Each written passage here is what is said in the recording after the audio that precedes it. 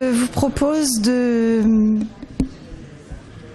de démarrer cette soirée, si vous voulez bien vous asseoir. Euh, tout d'abord, je voudrais euh, dire à quel point je suis heureuse et je me fais une fête euh, de recevoir euh, Dominique Perrault euh, ce soir euh, à l'Académie. Euh, je m'en fais une fête parce qu'on se connaît bien, parce que ta présence est importante à l'Académie. Euh, parce qu'aussi on a décidé euh, depuis quelques semaines, quelques mois, euh, d'ouvrir de plus en plus l'académie à la fois à nos membres et puis à des grandes personnalités extérieures. Je me suis posé une question en réfléchissant un peu à ce que j'allais dire ce soir. Pourquoi Dominique Perrault n'est pas membre de l'académie? Mais en fait, il l'a été. il ne l'est plus par des mystères que j'essaierai de, percer. Mais hum, je voudrais dire que l'Académie euh, t'ouvre euh, très grand ses bras, ses portes également, pour euh, ce qu'on appelle donc une carte blanche. On a décidé avec Richard, avec les membres du bureau, de faire en sorte que l'Académie rayonne de plus en plus, qu'elle devienne, qu'elle redevienne un, lieu des plus accueillants, qu'elle travaille sur son hospitalité, euh, qui doit être croissante, qu'elle devienne une vraie maison, euh, à la fois pour ses académiciens, mais aussi quand même un peu pour tous les architectes, euh, sachant que les architectes et les amis de l'architecture, on est souvent des personnalités qui avons une armure, qui sommes des gladia- gladiateurs. Et en même temps, je me suis aperçue au fur et à mesure des mois, et je ne suis pas la seule, et des années, que lorsqu'on est à l'académie, l'armure tombe. Il y a une vraie euh, confraternité qui euh, reprend le pas, une vraie amitié euh, qui fait qu'on se retrouve de manière euh, sereine, amicale, euh, toujours très passionnée, euh, décontractée. Euh, et mm, nous voudrions, avec euh, quelques-uns, cultiver euh, cette hospitalité et cette idée d'un lieu qui nous, qui nous fédère et qui nous rassemble euh, en toute amitié. Euh, une carte blanche, donc, c'est un moment où toi, Dominique, tu vas certainement nous enchanter. On voudrait que tu le fasses sur les sujets qui t'intéressent. On aimerait aussi que cette soirée dérape très vite, c'est-à-dire que bien sûr tu vas nous parler, nous montrer plein de choses. On aimerait très vite quand même qu'il y ait un débat, euh, que vous puissiez intervenir, poser des questions, couper la parole, qu'il y ait aussi peut-être euh, un peu d'impertinence, en tout cas beaucoup de spontanéité, euh, de chaleur, d'amitié. La chaleur, elle y est déjà physiquement. Et on voudrait que, effectivement, on soit pas dans un schéma classique, mais vraiment qu'il y ait que- le, moment se transforme en une conversation. Euh, je vais très vite laisser la parole à Richard. Je voudrais juste, euh, je ne souhaite pas parler de l'œuvre de Dominique parce que d'abord toi tu le feras et ensuite Dominique va en parler. Je voudrais quand même juste citer une anecdote qui me concerne. Euh, J'ai été à Séoul visiter l'université des femmes de Séoul que tu as construite il y a quelques années maintenant. Et je dois avouer que c'était un projet que j'avais vu sur papier glacé, euh, qui restait justement un peu mystérieux et un peu glacé. Et euh, je dois avouer que la visite que j'ai fait des lieux sur place de manière spontanée, toute seule, euh, fait partie des plus belles émotions architecturales que j'ai eues dans ma vie. Certainement par un grand effet de surprise. Je ne m'attendais pas à une telle émotion. J'ai pris conscience à quel point une œuvre euh, incrustée dans le sol peut être belle et puissante alors même qu'elle n'émerge pas au-dessus du terrain. Euh, j'ai pris conscience de toutes les raisons qui t'avaient poussé à l'enterrer, euh, du courage qu'il faut quand même le faire, qu'il faut quand même, pardon, avoir pour accepter de s'enfouir et de n'être vu, compris que dans un deuxième temps quelque part. Euh, en tout cas, cette visite ne m'a pas laissé indemne. Euh, J'ai trouvé le lieu magnifique dans ce grand campus à Séoul. Il y faisait euh, une chaleur absolument accablante. Et ces grands emmarchements qui descendent, on en prend conscience surtout quand on y va.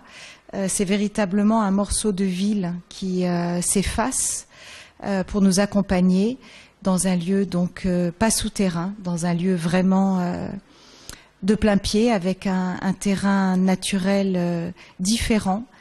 Euh, c'est un lieu qui est toujours baigné de lumière naturelle, qui travaille avec l'ombre, la lumière, euh, des matériaux qui allient opacité et transparence, une sorte d'intimité mêlée à une grande monumentalité.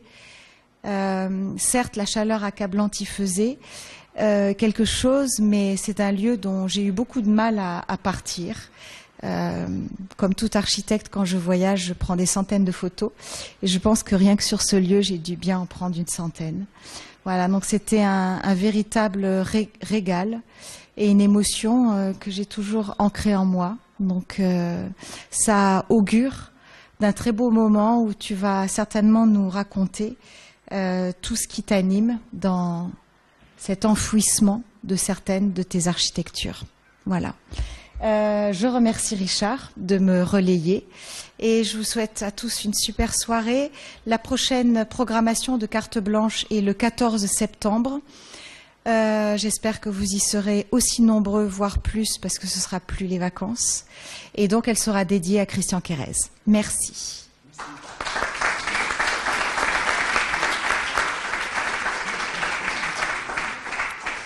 Non, excusez-moi, je vais parler euh, très peu de temps, mais je voudrais revenir un peu sur le cycle de conférences, puisque en fait, moi, je l'ai plutôt vu comme un cycle hein, sur euh, les architectes que j'ai appelés les architectes faustiens, hein, c'est-à-dire euh, ceux qui s'engagent, disons, corps et âme, voyez, dans le dans le réel, hein, et qui oublient effectivement donc la culture, le savoir, et qui révèlent des choses, qui révèlent des mondes, donc pratiquement insoupçonnés.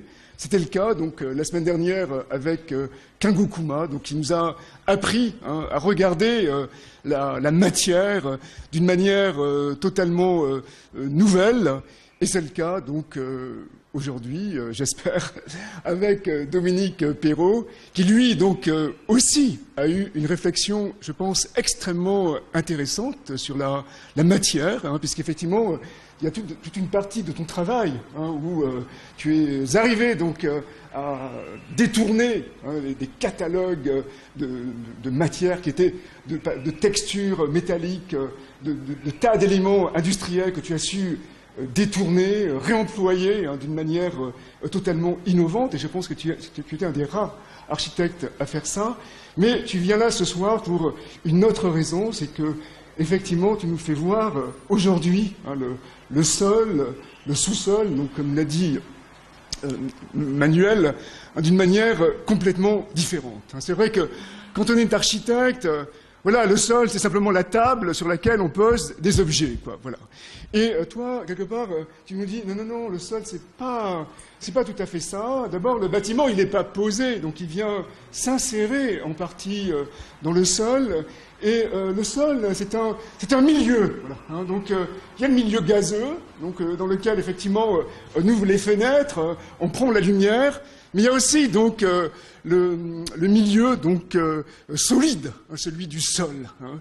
Et aujourd'hui, effectivement, ce milieu, on peut le, reconsidérer. C'est vrai qu'il y a des tas d'architecture qu'on a plus ou moins oubliées, donc à Petra, en Jordanie, qui sont des architectures creusées, voilà, excavées, donc il y a déjà cette dimension-là, si vous voulez, voyez, de la modestie absolue hein, de l'architecture, qui au lieu de s'ériger, voilà, vous voyez, hein, donc, euh, eh bien, euh, se, creuse hein, dans, le, sol. Il y a déjà une première, dimension, donc, euh, de, disons presque de, de modestie, ou de volonté de non-pollution de l'espace terrestre par toutes sortes de formes. Mais ensuite, effectivement, donc, il y a la considération de ce milieu. Donc le milieu gazeux, c'est vrai qu'il est bien parce que voilà, on ouvre les fenêtres et on a de l'air. Mais par contre, aujourd'hui, on a chaud. Hein, parce qu'effectivement, le milieu gazeux, il change tout le temps. Voyez, euh, c'est une substance, voilà, qui est, euh, euh, disons, totalement instable. Voilà, il peut faire très froid ou très chaud. Hein, par contre, le sol, non. Hein. quelque part, il garde toujours la même température. Et donc, effectivement, donc, en s'inscrivant dans ce dans ce milieu donc euh, euh, terrestre, hein, dans ce milieu euh, solide, hein, eh bien, on peut échapper, voyez, donc à la l'habilité hein, de la température. Et effectivement, donc, on peut être, on peut quelque part mieux, on peut quelque part s'inscrire, dans quelque chose de plus matriciel, de plus fondamental, de plus protecteur. Je pense qu'aujourd'hui, voilà, l'architecture, elle a à la fois besoin d'être modeste, de ne pas trop s'enfermer, mais d'être aussi super protectrice, parce que je vous garantis, le monde, il est quand même super compliqué, super dur, super difficile, super épuisant, et donc c'est bien voilà, d'être protégé. Ça, c'est les premiers points. Et ensuite, c'est vrai que voilà, quand on, quand on, quand on vient, quand on considère voilà, le solide hein, comme, un, milieu, eh bien, bien sûr, l'architecture, comme euh, Dominique Perrault le dit très très bien dans son livre totalement excellent qui s'appelle, Grandscape, l'architecture, effectivement, elle, elle change hein, complètement de nature. Voilà. En milieu gazeux, on a des fenêtres et on les ouvre, on les ferme. Mais en milieu solide, donc, euh, c'est autre chose. Hein, c'est presque comme des racines.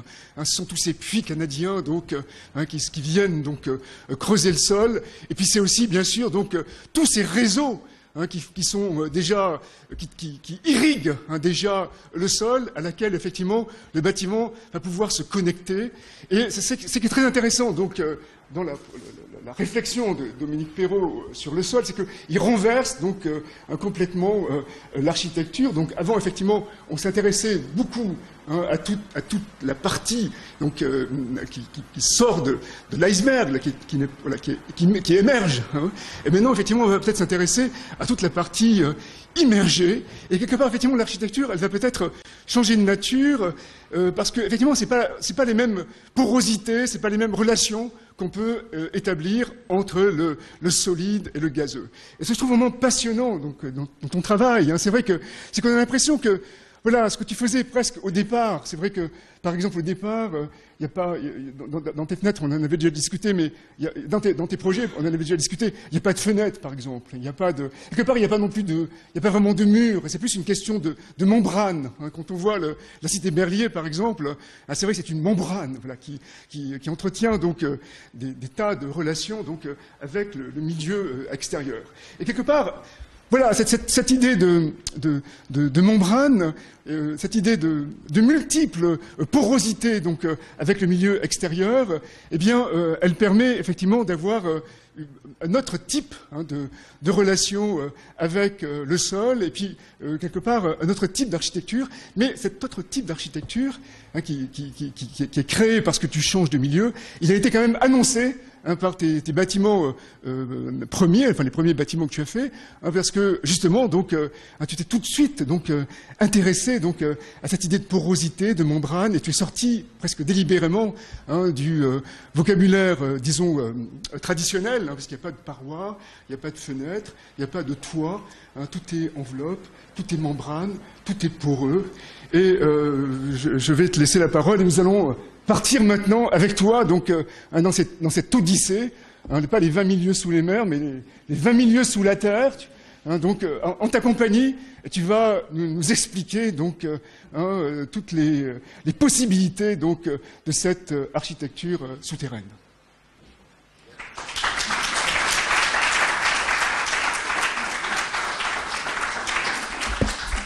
Bien, merci. Merci, bravo. Merci Manuel pour, la, cette introduction. On y reviendra sur les, les émotions et la, dimension de, ce que peut être peut-être l'expression de ce qu'est la fécondité, euh, telle que elle est décrite par les étudiants de l'université euh, par rapport à, cette architecture. Et puis euh, bravo Richard, mais c'est Richard. Il est absolument parfait. Et, euh, et, donc, moi, je vais euh, enchaîner, si je puis dire, euh, de façon peut-être assez rapide, parce qu'il y, a beaucoup de, de visuels, afin qu'on puisse ensuite, évidemment, parler ensemble, mais aussi pour, pour vous montrer que les projets sont importants, mais ce qui est peut-être le plus important, et j'y reviendrai, c'est la, la, dimension un peu systémique euh, de, de, ces, de, cette, ce développement de projets. afin que le dessous devienne vraiment un système avec sa, sa, cohérence et, aussi sa dialectique avec le dessus. Mais allons-y.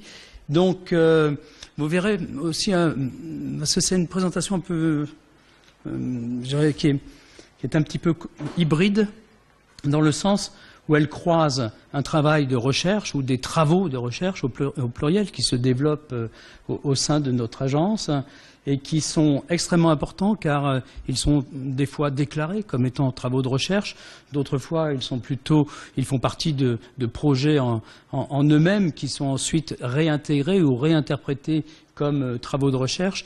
Et donc vous verrez des, citations, des références d'un imaginaire que l'on aime. Euh, mais aussi des fictions, comme on peut le voir ici, qui sont surtout euh, basées souvent euh, à partir de collages qui nous permettent de déplacer les lignes, d'ouvrir les yeux et donc d'élargir notre monde. Alors, ce travail de recherche, cette, plateforme, si je puis dire, on l'a appelé Groundscape. Bon, c'est plus ou moins bien, mais ça a le mérite de ne pas s'appeler underground, de ne pas s'appeler sous-sol, de ne pas s'appeler souterrain, de ne pas s'appeler cour anglaise, c'est-à-dire de ne pas s'appeler euh, de termes qui renvoient à l'enfer de Dante, ici, qui est quand même la relation psychologique que nous avons avec le sol. C'est-à-dire le sol est le lieu du déni, tout ce que nous ne voulons pas voir, tout ce que nous n'acceptons pas de vivre ou tout ce que nous ne souhaitons pas, euh, et dans le sol. C'est-à-dire le sol est un, élément plutôt, euh, je dirais, de rejet, euh, même s'il est de dimension mystique aussi, évidemment c'est un autre statut, mais c'est quand même une dimension de séparation extrêmement forte. Et comme l'a évoqué Richard, c'est vrai que j'ai beaucoup travaillé sur l'autorité de l'architecture euh, quand elle est verticale et que ça s'exprime en mur. Ici, euh, dans l'architecture, le mur est un élément euh, fondamental de la, constitution de l'architecture. il a des qualités de protection, mais il a aussi évidemment un statut de séparation. Et donc tout ce qui sépare, à mon avis, limite la, puissance aussi bien sensible, intellectuelle euh, que environnementale euh, de l'architecture. Donc euh, cette critique verticale, donc par rapport au mur, qui est un élément d'autorité, je l'ai développé ici par rapport au sol, qui est à l'horizontale, mais qui est aussi un élément de séparation et sur lequel on peut s'interroger. Premier projet, il y a 85 pour l'université d'Angers. C'est une référence qui permet un peu de, donner des éléments au carbone 14, un peu du démarrage de cette réflexion, totalement inconsciente évidemment euh, au départ, mais euh, qui présente déjà des caractéristiques assez intéressantes, puisque c'est quand même une petite trentaine d'années.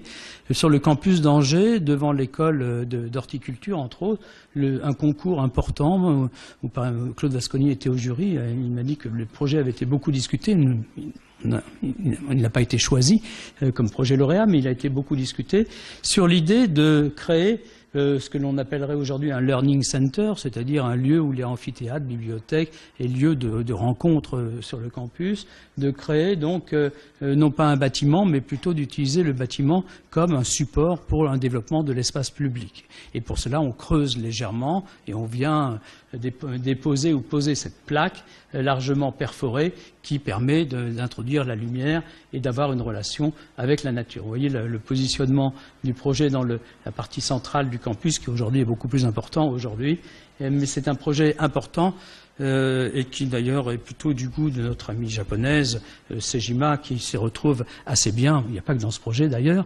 C'est pour ça qu'on a des liens d'amitié et d'affection très développés entre nous.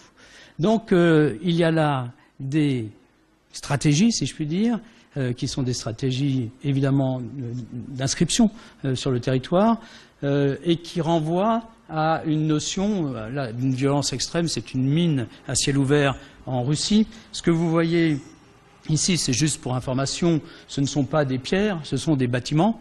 Et euh, les Russes creusent euh, tellement bien et tellement profond et tellement largement que maintenant la ville minière qui se trouve autour est en train de descendre dans la mine petit à petit. Enfin, c'est une stratégie russe. Euh, ils n'ont pas leur première expérience dans ce genre de, destruction. mais ça montre qu'il y a là une espèce de capacité du sol à être un matériau. Et ça, c'est quelque chose qui est évidemment extrêmement intéressant, c'est-à-dire de considérer le sol comme on l'a fait dans, l'industrie avec, euh, avec Carrare, ou bien ici le travail absolument extraordinaire de Michael Heiser, c'est-à-dire cette capacité de transformation de cette aridité finalement, de cette solidité euh, du sol en un lieu que l'on peut investir et un lieu qui est porteur de sens pour que s'y développe euh, la vie ou tout au moins une dimension euh, je dirais, sensible et intellectuelle par rapport à un dispositif géographique. L'université de, Iwa, donc l'université féminine, euh, euh, participe à cette réflexion. Voilà l'image de la situation lorsque le concours a été organisé, un concours où en finale nous étions avec contre Zaha Hadid et, FOA à l'époque, ils étaient encore ensemble. donc des architectes qui était tout à fait intéressant par rapport à, la, problématique de Iwa, parce que c'est des architectes qui travaillent avec une, relation assez tellurique euh, les uns et, les autres par rapport justement à, ce, site du campus.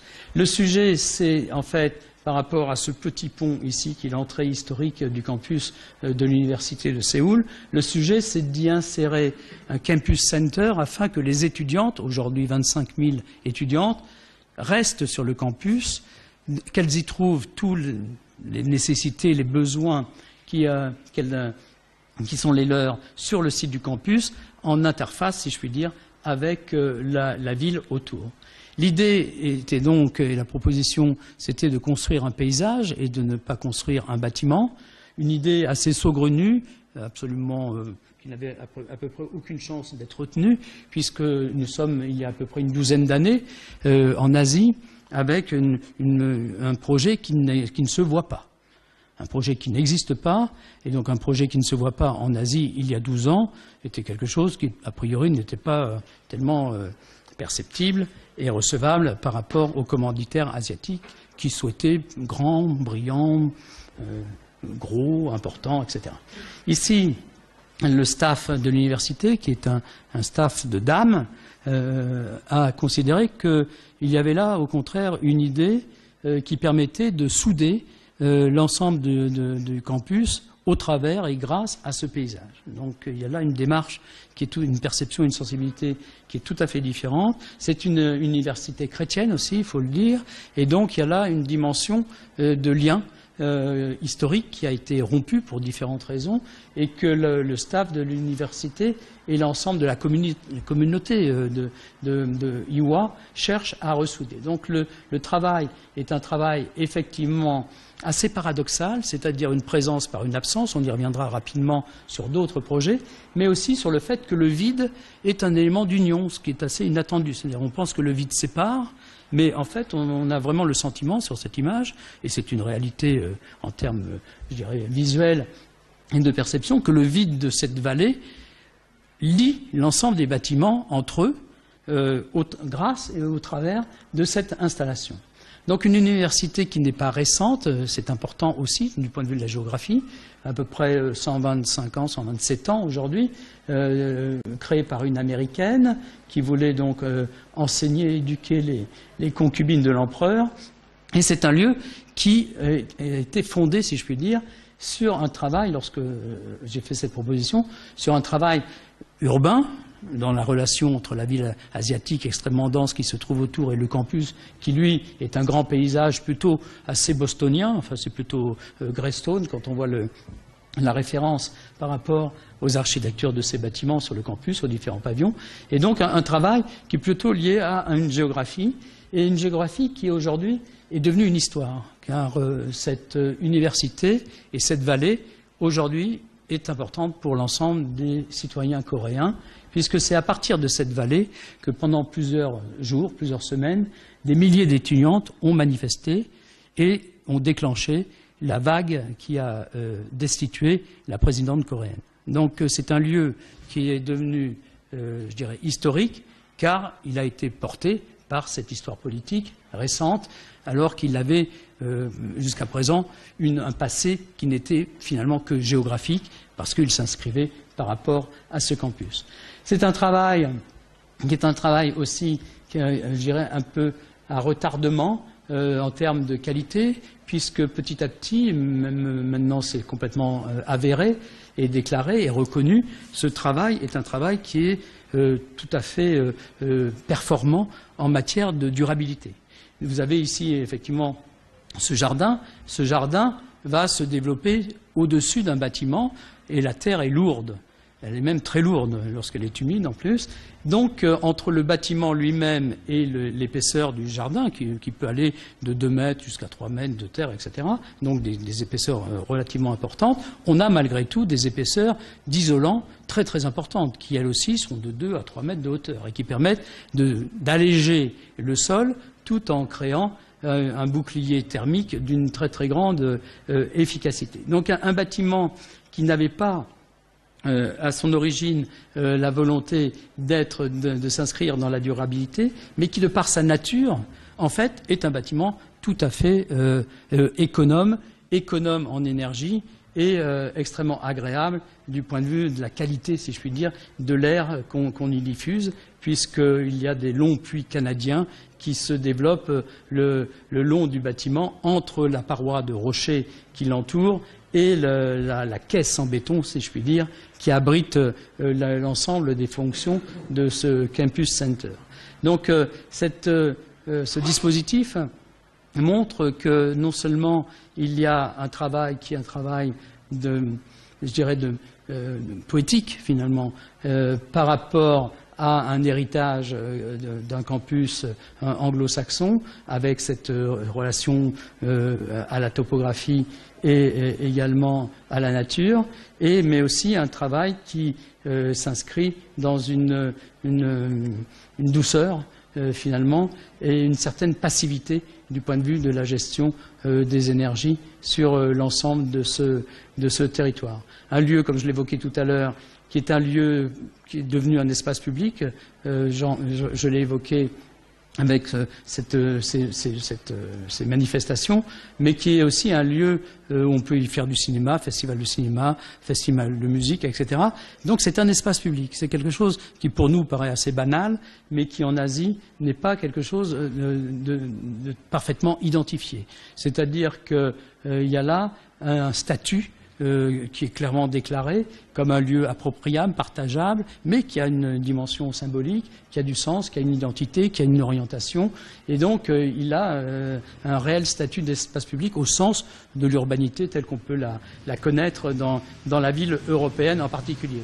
Nous récupérons l'eau aussi, c'est juste pour montrer que parce qu'il y a des typhons et que nous sommes en, contrebas de la vallée, que nous avons aussi des dispositifs qui permettent de récupérer l'eau et d'éviter les inondations et ensuite évidemment de la recycler. Les puits canadiens, juste sur la partie latérale, ici et là, sur 250 mètres de longueur de part et d'autre, donc on a vraiment des espèces de radiateurs, si je puis dire, ou des, qui font du chaud et du froid suivant la saison, et un petit coup de ventilateur, si je puis dire, euh, pour mettre à niveau la température, si on veut un peu plus de chaud, un peu plus de froid, dans la partie basse de l'édifice. Et tout ceci remonte tranquillement euh, vers le haut euh, de façon absolument, je dirais, statique.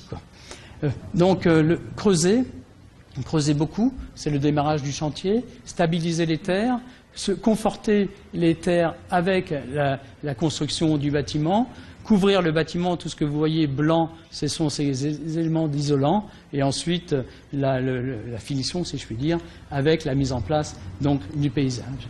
Cette notion d'absence est quelque chose qui, euh, euh, qui est, je dirais, euh, un peu la, la, la qualité première du dispositif de cette relation avec l'épiderme.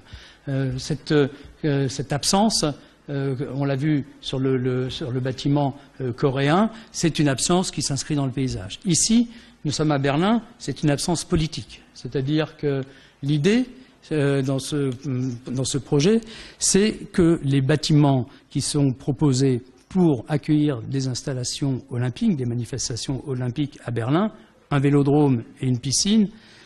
Ce qui, le, rond, c'est le vélodrome, le rectangle, c'est la piscine, donc euh, déjà le travail est fait.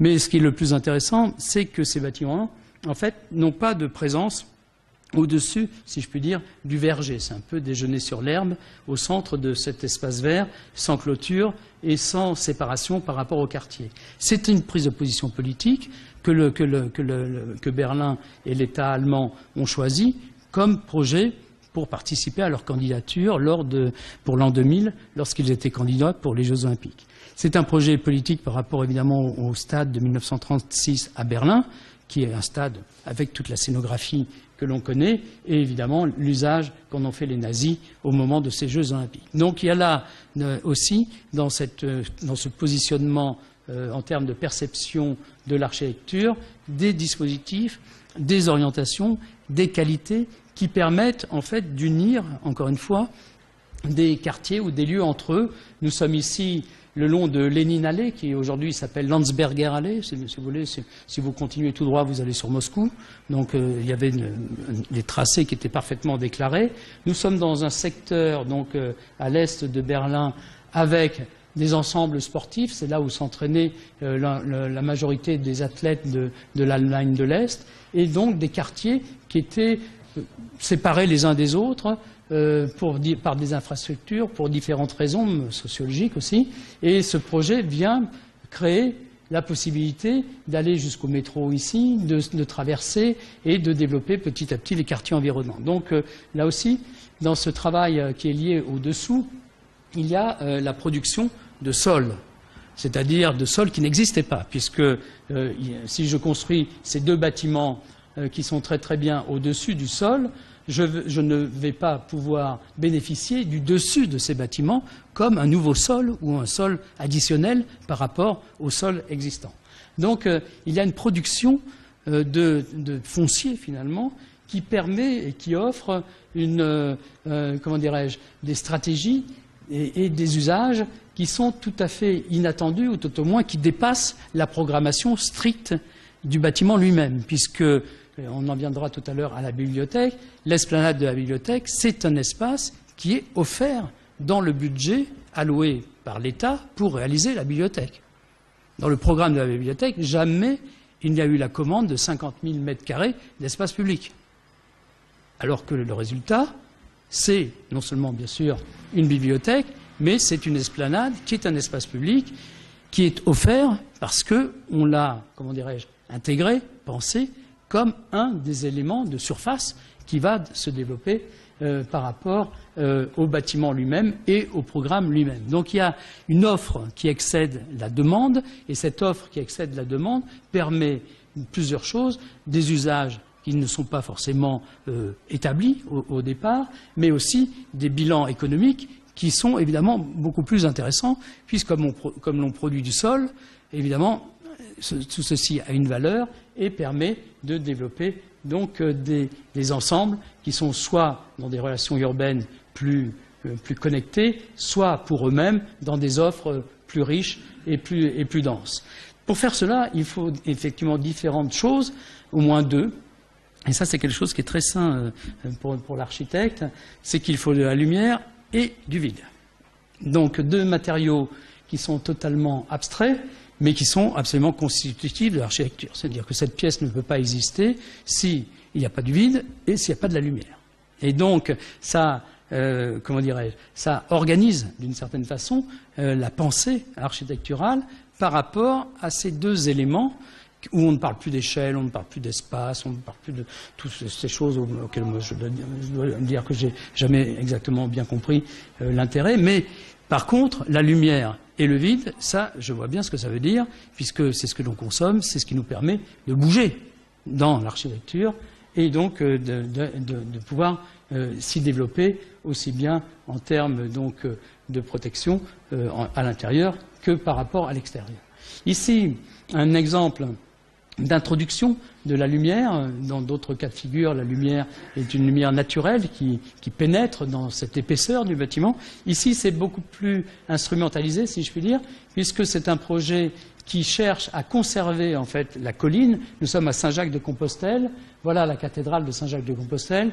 Le projet ici, c'est le projet d'une cité des arts euh, qui, euh, euh, à l'époque où, l'Espagne était absolument extraordinaire en termes de production de projets et d'ampleur de programmes, c'est il y a quelques années, et donc cette, cité des arts devait accueillir euh, absolument euh, galeries, bibliothèques, euh, concert hall, etc. Et tout ceci trônant, si je puis dire, en haut de la colline. Moi, j'ai pensé qu'on pouvait peut-être utiliser la colline comme étant un lieu même peut-être la façade d'une certaine façon de cette cité des arts, et d'introduire dans le haut de la colline un prisme qui n'est pas un prisme comme celui de la, pyramide, c'est-à-dire que ce n'est pas un prisme dans lequel on entre pour accéder à l'intérieur d'un espace. Ici, c'est un prisme qui est un instrument d'optique qui conduit la lumière à l'intérieur de la Terre. Et réciproquement, la lumière peut sortir de l'intérieur de la Terre, la nuit, ou de façon euh, par des écrans, euh, en sens inverse. Donc ce prisme est un outil qui va conduire la lumière à l'intérieur de la Terre et qui va créer évidemment un lieu complètement esthétique euh, et plastique lié à, cet usage que l'on peut en avoir et à ce travail qui s'inspire entre autres du travail des pyramides euh, avec ce jeu de miroir pour euh, euh, conduire la, lumière au cœur d'un solide totalement opaque. Donc cette notion d'instrument est quelque chose qui est aussi, comment dirais-je, un des moyens que l'on étudie et que l'on cherche à développer et à mettre en place, car il viendrait compléter le dispositif de la topographie. Là, on ne touche pas à la topographie, on vient plutôt la fracturer, ou s'insérer dans la topographie, et on ne crée pas des mouvements nouveaux de sol, mais on est plutôt par rapport à un sol existant. Cette stratégie, on l'a utilisée de façon plus petite en termes de dimension, mais ô combien plus prestigieuse, puisque nous avons euh, fait un travail sur le pavillon du Four, ici, pour accueillir les 5 millions de touristes, qu'ils puissent faire leur visite et ressortir au même endroit par le même pavillon du four, ce qui, d'un point de vue physique, est totalement impossible, car on ne peut pas gérer l'entrée et la sortie de 5 millions de visiteurs au même endroit, de par la dimension du, château euh, lui-même et des galeries du château à cet endroit-là. Donc ce que nous avons imaginé, car le château était trop petit, on peut le dire comme ça aujourd'hui, euh, il faut donc créer des mètres carrés complémentaires. C'est ce que nous avons fait, certainement euh, autour de 1000 mètres carrés nouveaux, en investissant le dessous, non seulement le dessous du bâtiment lui-même, mais aussi le dessous de la Cour des Princes, ceci en y installant euh, non seulement un, sous-sol, euh, comme on va le voir tout à l'heure, mais aussi en y installant cet instrument d'optique que vous avez pu voir pour Saint-Jacques de Compostelle, qui n'est finalement qui apparaît comme une rambarde en verre épaisse et qui va conduire la lumière naturelle dans l'épaisseur du sol, juste à un niveau plus bas, et qui va nous permettre d'insérer un escalier entre les différentes architectures. Donc on a là un espace qui est encore du vide, qui est un espace de liaison, presque de fusion entre une architecture 17e, celle-ci est 18e, plutôt finition 19e, et la Cour des Princes elle-même, et ce travail qui est complètement 21e. Donc euh, c'est cet espace que crée, mis en place par l'escalier, qui va faire l'union de ces architectures patrimoniales, sans leur faire offense, mais en leur donnant un, nouveau mode, si je puis dire, de relation et de fonctionnement. Alors évidemment, on a trouvé quand même une citerne qu'on a transformée en boutique pour la RMN. On a trouvé euh, quelques autres éléments, mais relativement peu, pour se développer donc sous la cour des princes. Donc le trajet, c'est l'entrée des visiteurs, la visite, les groupes sont ici, et tout le monde converge vers le dessous, donc c'est la fin de la visite, la boutique, le dessous de la cour des princes, la lumière naturelle, l'escalier, soit on va vers les jardins ici en passant par ce guichet, soit on retourne vers la place d'armes qui se trouve de ce côté. Donc euh, un travail d'intervention euh, en fait extrêmement efficace, qui n'est pas dans, dans, la, discrétion au sens du retrait, mais qui est, présent, mais qui est plutôt dans la, discrétion, dans le sens où il va venir juste s'insérer par rapport à une situation comme celle-ci, où il y a un appareil d'angle euh, pour ce bâtiment, on va venir s'appuyer dessus, on va venir se poser entre les deux époques, etc. Donc il y a un système de réglages architecturaux qui sont extrêmement précis et qui sont complètement, si je puis dire, transfigurés par la mise en place de cet objet qui est capable de faire le lien entre le dehors et le dedans. Une coupe, avec évidemment tout un travail sur la galerie d'entrée, le restaurant d'Alain Ducasse au premier étage à Versailles, le réinvestissement du dessous des combles avec un auditorium et surtout le dessous c'est-à-dire toute la partie de la sortie du public.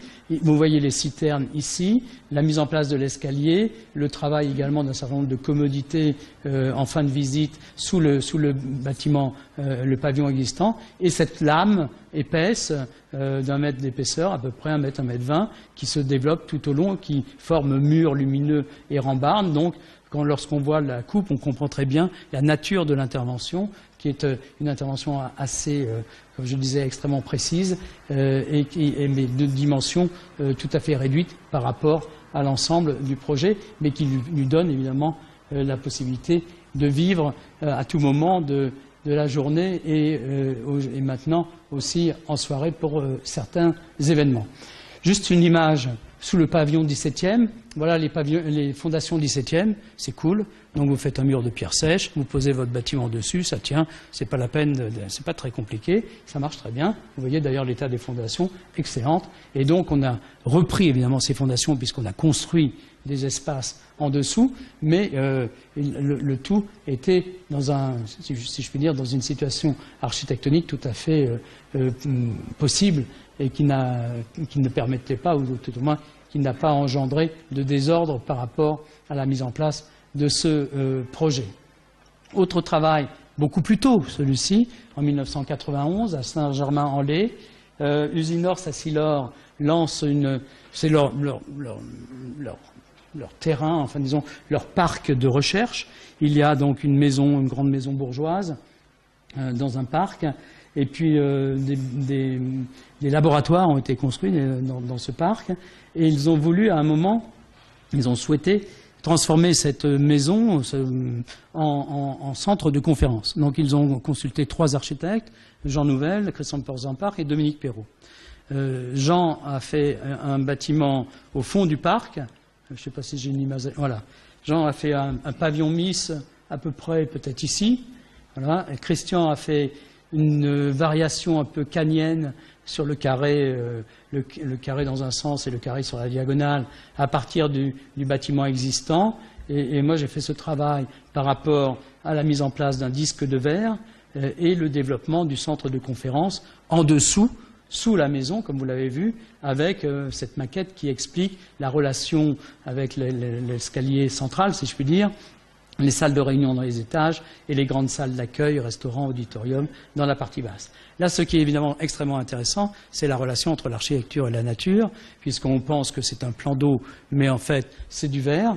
Et, donc, il y a une espèce de, euh, là aussi, de,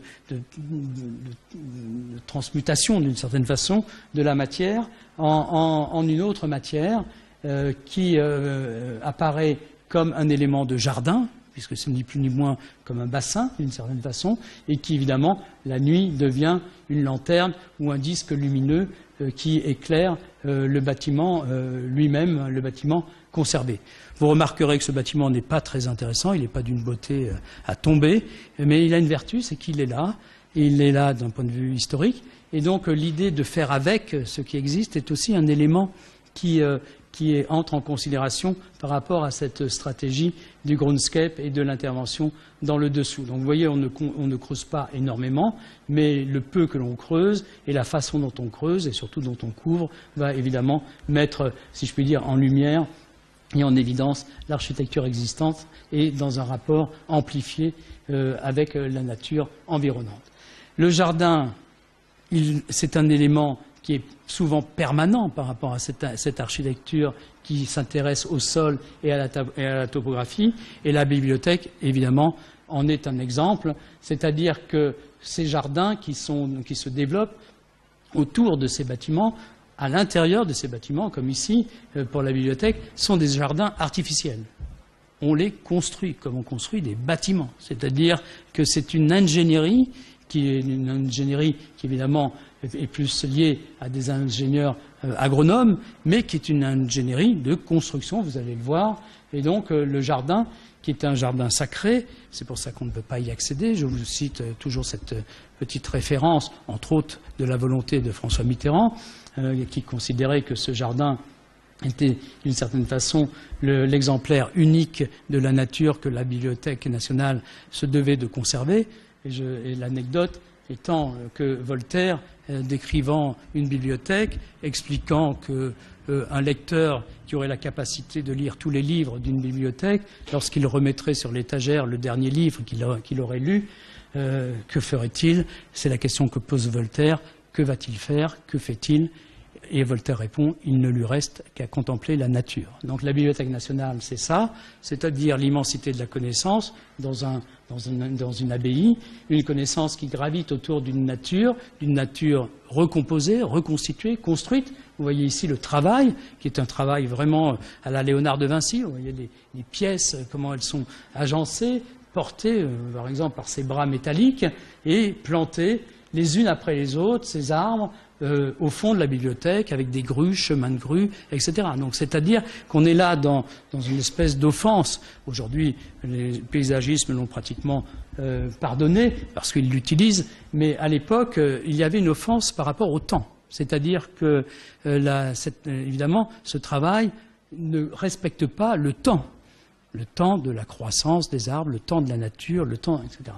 Ce que d'ailleurs en Asie euh, on fait depuis des lustres hein, et des siècles, mais bon, peu importe. Toujours est-il que, effectivement, et c'est pour ça qu'il y a une dimension artificielle avec ce morceau de nature, c'est qu'il est, il est bâti en lui-même, pour lui-même, et aujourd'hui, évidemment, il a pris sa, propre place. Ceci dit, aujourd'hui, ce qui est aussi assez amusant, c'est que je peux croiser des personnes qui ne connaissent pas l'histoire de la bibliothèque et qui me remercient Merci, monsieur l'architecte, d'avoir conservé ce jardin et construit la bibliothèque autour. Donc, si vous voulez, c'est pour vous donner la dimension euh, psychologique, euh, euh, fantasmatique de la nature et de la relation que l'on peut avoir de la nature, alors que cette nature est complètement fabriquée, ce qui ne lui enlève rien de son fonctionnement par rapport à son biotope, etc.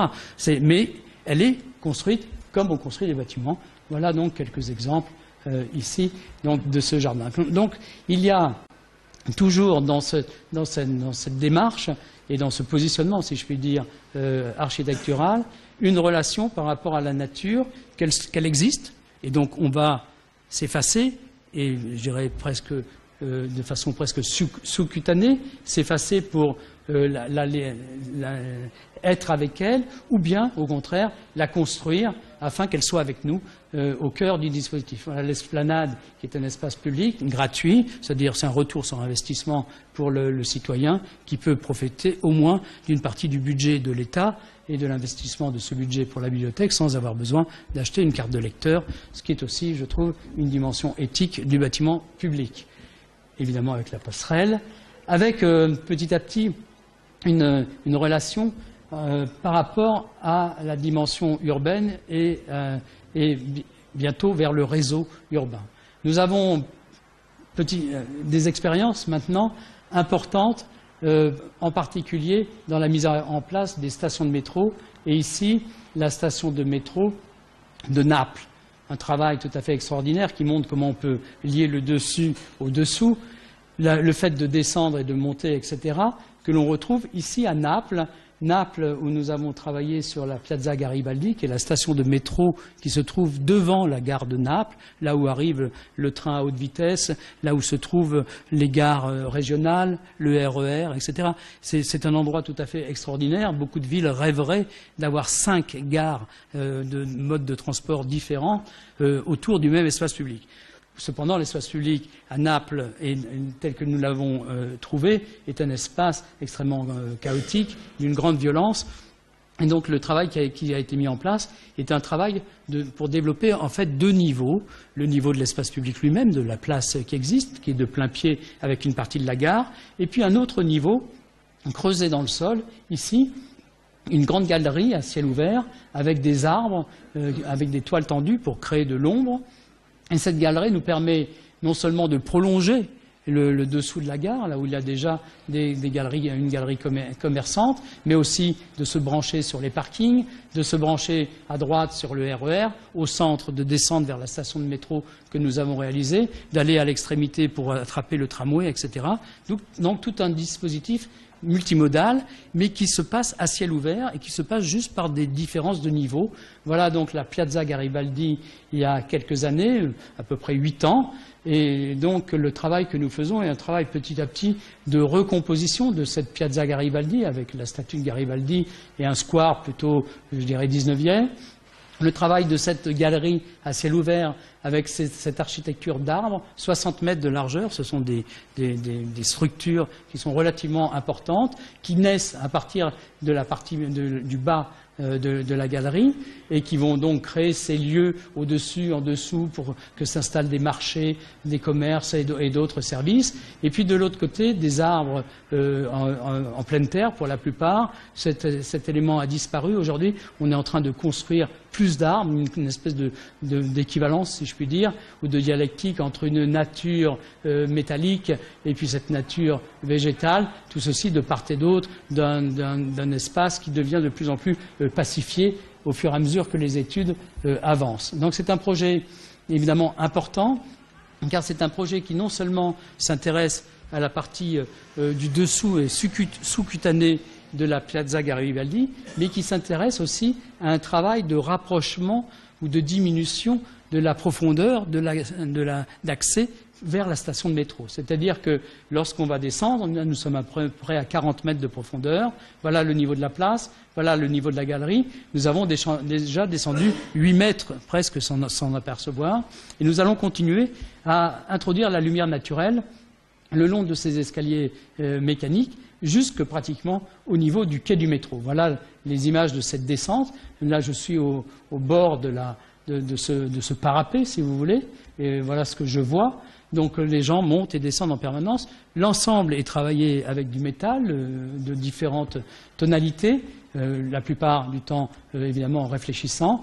Un écho à Paris, mais dans une version black de la, céramique du métro parisien, et un travail aussi tout à fait extraordinaire de, Pistoletto, qui a été qui a sur des, murs plutôt techniques, disons, à installer des miroirs avec euh, des personnages sur le thème du voyage. Et là aussi, vous ne savez plus si ce sont des, voyageurs qui entrent, qui sortent, des voyageurs qui attendent le métro, euh, des voyageurs euh, vivants ou bien des, figures de, ces grandes fresques.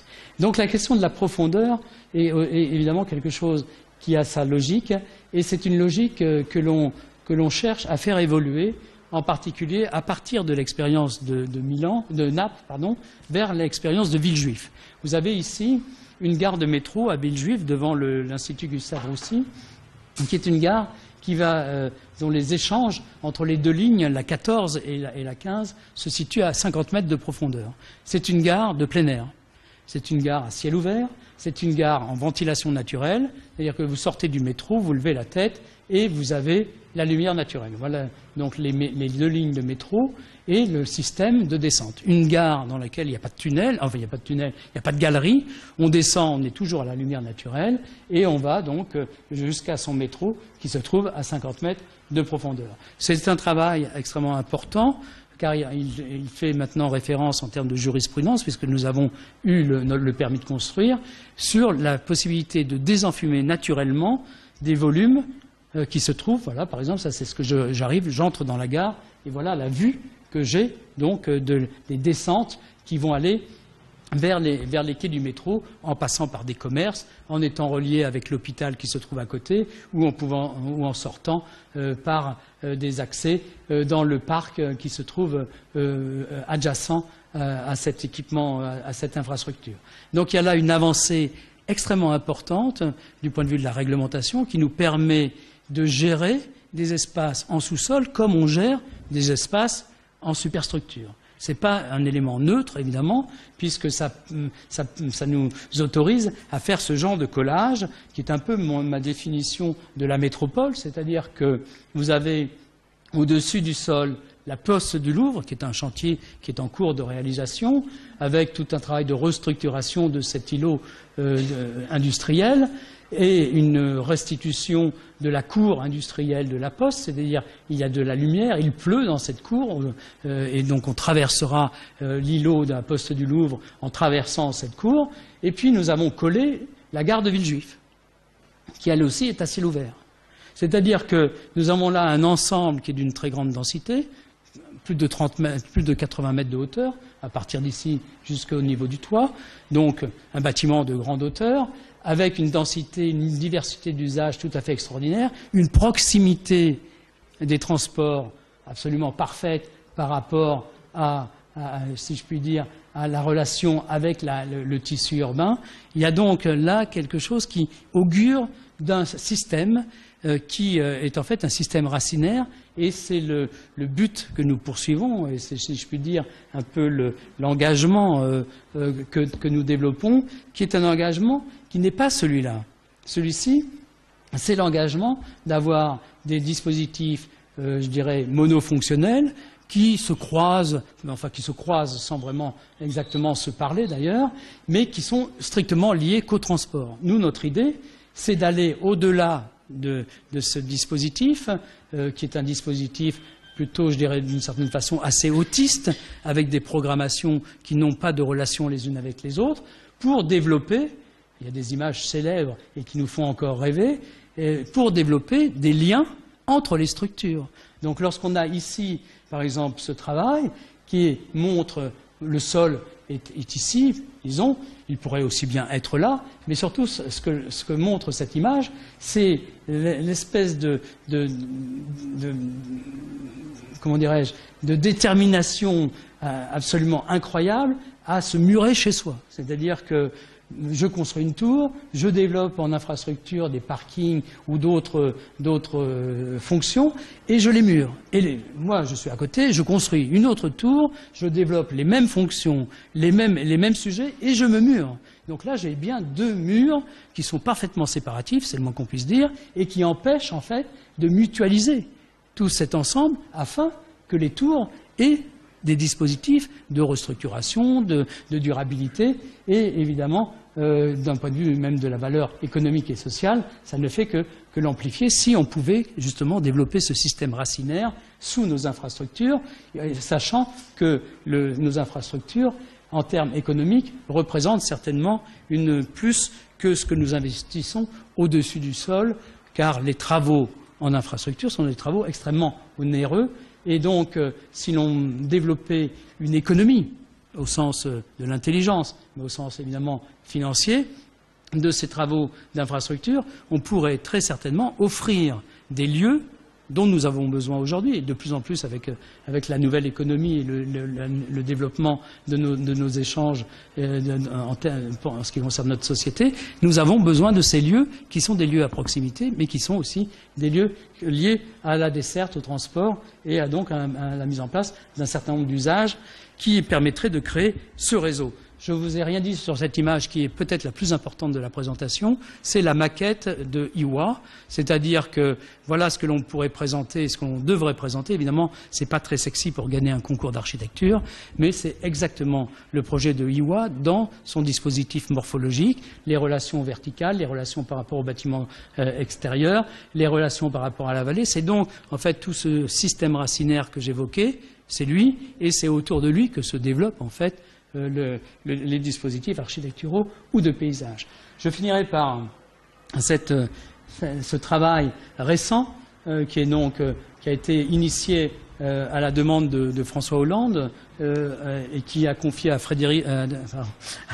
Philippe Bélaval, donc président du Centre des monuments nationaux, juste notre voisin ici, et, à moi-même la, question euh, d'un développement ou d'un redéploiement euh, de la vie sur l'île de la Cité. Donc euh, le travail que nous avons fait est un travail qui a été borné en 2040. Il semblerait que le président actuel souhaite que les, dates soient un petit peu plus rapprochées. Il semblerait aussi que des événements très attendus en septembre aillent vers la mise en place d'un certain nombre de projets pour accueillir des grandes manifestations internationales. Donc il y a un enchaînement, si je puis dire, d'une mécanique de, déploiement et de redéploiement non seulement des institutions qui se trouvent sur l'île de la Cité, mais aussi de l'ensemble de l'espace public de l'île de la Cité, qui va s'accélérer euh, dès, cet automne.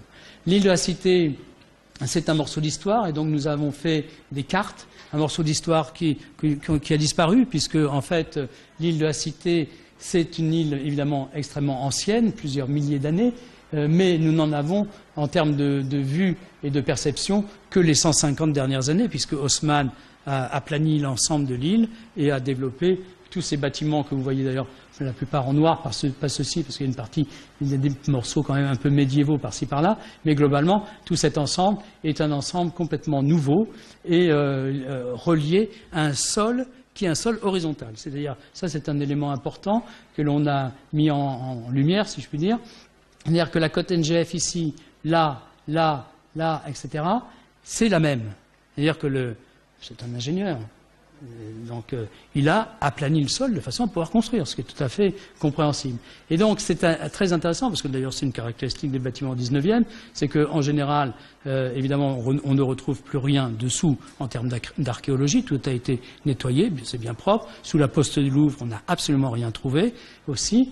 Donc, euh, il faut descendre plus profondément pour retrouver l'Utès et retrouver des couches historiques plus. Toujours est-il que nous, ce n'est pas ce qui nous intéresse. Ce qui nous intéresse, justement, c'est redéployer le territoire et l'activité et la vie sur l'île de la Cité suivant trois couches.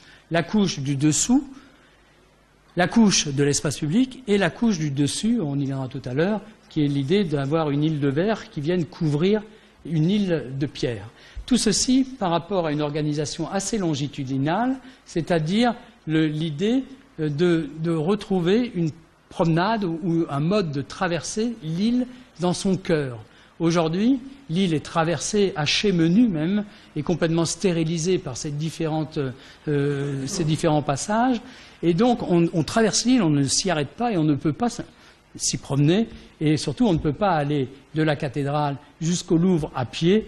Il faut enjamber et, aussi il faut réussir à passer par rapport à d'autres modes d'occupation, en particulier liés à, la préfecture de, police. Donc il y a là euh, une disparition de l'espace public dans sa, dimension de partage et dans sa dimension euh, d'être donné à tous, que l'on cherche à remettre en lumière.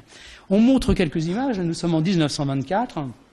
Pour les amateurs, Le Corbusier a fait d'ailleurs une aquarelle assez amusante de ce point-là, où on voit l'écluse, on voit des pendus sur l'île, de la Cité, etc. C'est un, document très très amusant. Toujours est-il, c'est pour vous montrer qu'il y a peu de temps encore, même pas une centaine d'années, il y avait des infrastructures importantes en lieu, enfin adjacentes au Vergalan, le long de l'île de la Cité. Donc euh, cette île était évidemment un territoire, mais un territoire qui, euh, qui fonctionnait avec la ville. Aujourd'hui, c'est plutôt un territoire qui a été soustrait d'une certaine façon à la ville. Et donc, nous avons entre autres dessiné ce collage qui a fait l'objet de l'affiche euh, de l'exposition qui a eu lieu à la conciergerie, présentant l'ensemble du travail qui, évoque l'idée que l'avenir de l'île se trouve en dessous de l'île, ou tout au moins dans sa reconnaissance ou sa révélation, qu'elle se trouve au milieu de l'eau et qu'elle a cette, espèce de territorialité qui est entière euh, et qui n'est pas une succession d'éléments les uns par rapport aux autres. Le dessous, euh, donc des connexions par rapport à un certain nombre d'éléments qui existent, qui s'articulent ou qui se réarticulent, qui, sont réouverts, que l'on redécouvre. La plupart de, ces éléments nous sont déjà donnés. Le travail que l'on a fait, comme tout à l'heure, c'est un travail systémique, c'est-à-dire de connecter l'un avec l'autre, de passer l'un par rapport à l'autre. Et donc c'est quelque chose qui est, euh, je dirais, qu'on a pu mettre en place euh, on est, à mon avis, largement en deçà des potentialités que nous offre l'île. Et avec ces différentes stratégies, l'idée d'avoir cette île de verre qui va redonner une valeur à l'ensemble des cours et des espaces euh, extérieurs, si je puis dire, mais intérieurs aux institutions, ça va nous, évidemment nous, créer des mètres carrés nouveaux et des mètres carrés aussi avec une certaine durabilité. Nous allons également développer ce réseau du dessous, ce qui produit environ, euh, quand même, dans un premier calcul, 100 000 mètres carrés nouveaux euh, offerts à l'île de la Cité qui, a priori, ne pensait pas être capable d'en recevoir un seul. Nous avons des gisements qui sont très intéressants, les parkings, trois parkings qui sont parfaitement situés, un très important qui se trouve ici, euh, côté de la place Dauphine, un autre parfaitement situé également en face de la Cour du Mai, donc euh, du palais de justice, et celui-ci qui est tout à fait exceptionnel, euh, qui, forme une espèce d'équerre, qui nous permettrait de se connecter vers la Seine, c'est-à-dire d'ouvrir euh, sur la Seine, et aussi d'ouvrir les galeries et les tunnels du RER e sur l'espace extérieur avec une vue directe sur Notre-Dame, car aujourd'hui nous passons entre le parking et la voie, ferrée dans des tunnels pour sortir le long de, l'hôtel Dieu, euh, c'est-à-dire euh, à peu près ici, euh, par des escalators ou des escaliers extrêmement étroits. Donc les parkings sont des vrais gisements, ils sont relativement importants. Ils sont aussi extrêmement peu utilisés. Donc il y a là une forte attente de la requalification et de la réutilisation de ces parkings. 35 mesures à l'époque ont été proposées, tout à fait diverses les unes des autres, mais qui touchent à peu près l'ensemble des, sujets, si je puis dire, ou des attentes euh, de ceux qui, travaillent sur l'île, j'allais dire qui vivent sur l'île. Il n'y a pratiquement personne ne vit sur l'île, sauf à peu près 600 personnes liées à Airbnb, 300 habitants finalement pour 1000 résidents. Donc il y a là aussi des sujets de, développement et d'enracinement d'une population pour y habiter.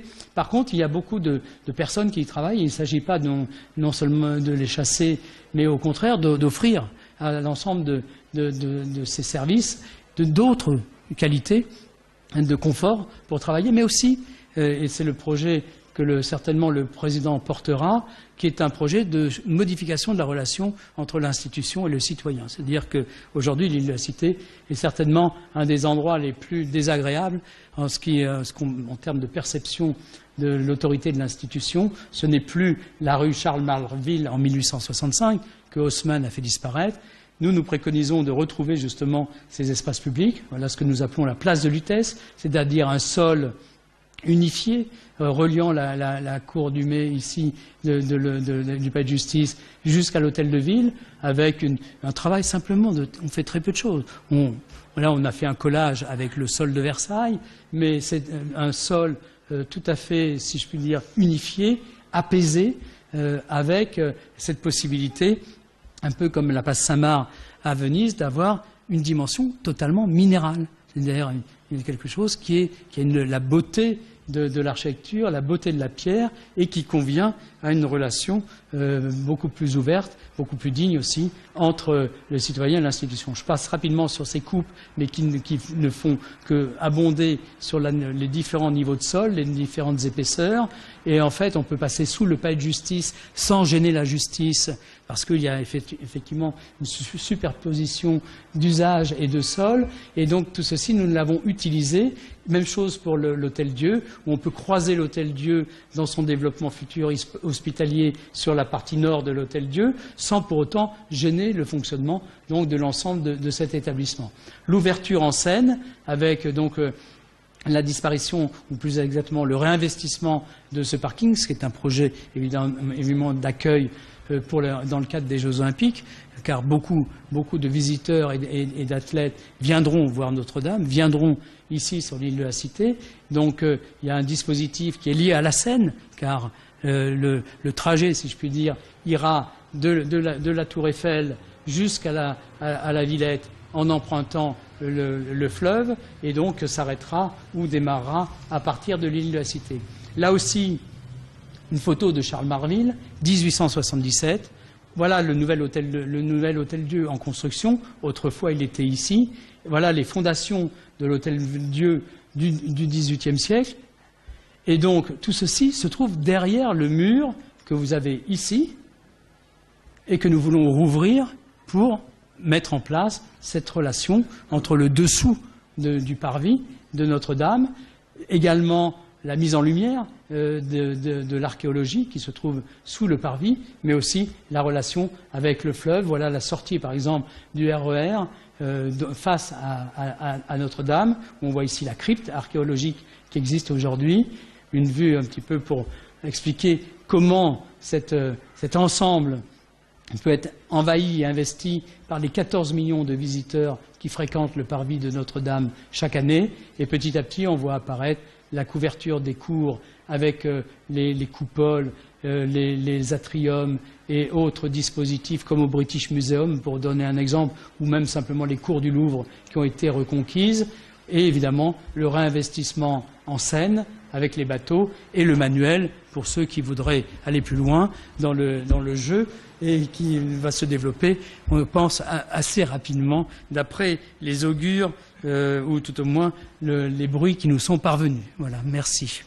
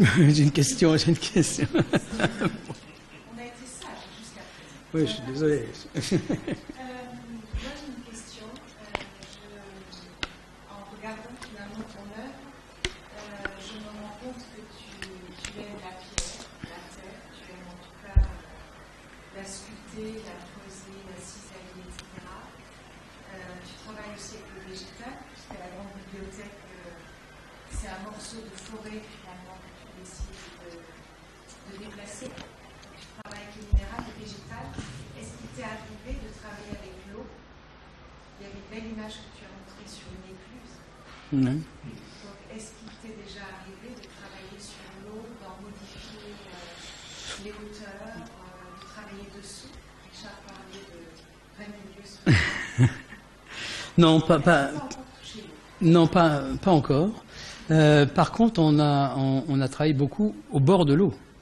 même mon, un de mes premiers projets dans le cadre du PAN, une construction à, à Rezé, euh, il y avait tout un travail euh, d'une jetée qui, se lançait sur, la Loire. Donc euh, la bibliothèque est le long de l'eau. À Vienne, le, travail que l'on a développé est au bord du Danube. Donc à Bordeaux, avec évidemment le projet des deux rives, avec Jacques Chaban-Delmas. Donc l'eau, est là. Aujourd'hui, avec le village olympique, puisque nous avons dessiné le village olympique, qui est un projet qui cherche à, développer des retrouvailles avec la Seine euh, pour les villes de Saint-Denis et de Saint-Ouen en particulier. Donc euh, l'eau est là, mais on ne l'a pas bâti. voilà, on ne l'a pas matérialisé au sens, au sens du, végétal.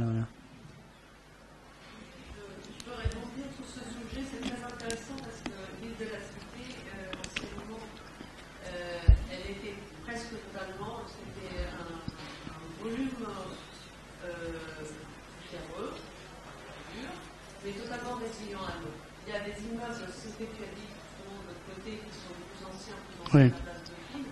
qui ont entre deux et trois niveaux de carte de sous-sol. Et les, deux derniers niveaux sont euh, des lieux d'absorption d'eau au moment des, des crues. Mmh. Et ça permet aussi à l'île de, ne pas subir d'érosion. On a le, le, mémorial de, de, de Pingusson. Hein. Côté qui est mmh. totalement résilient à l'eau, voilà, qui absorbe et l'accueil. Mmh.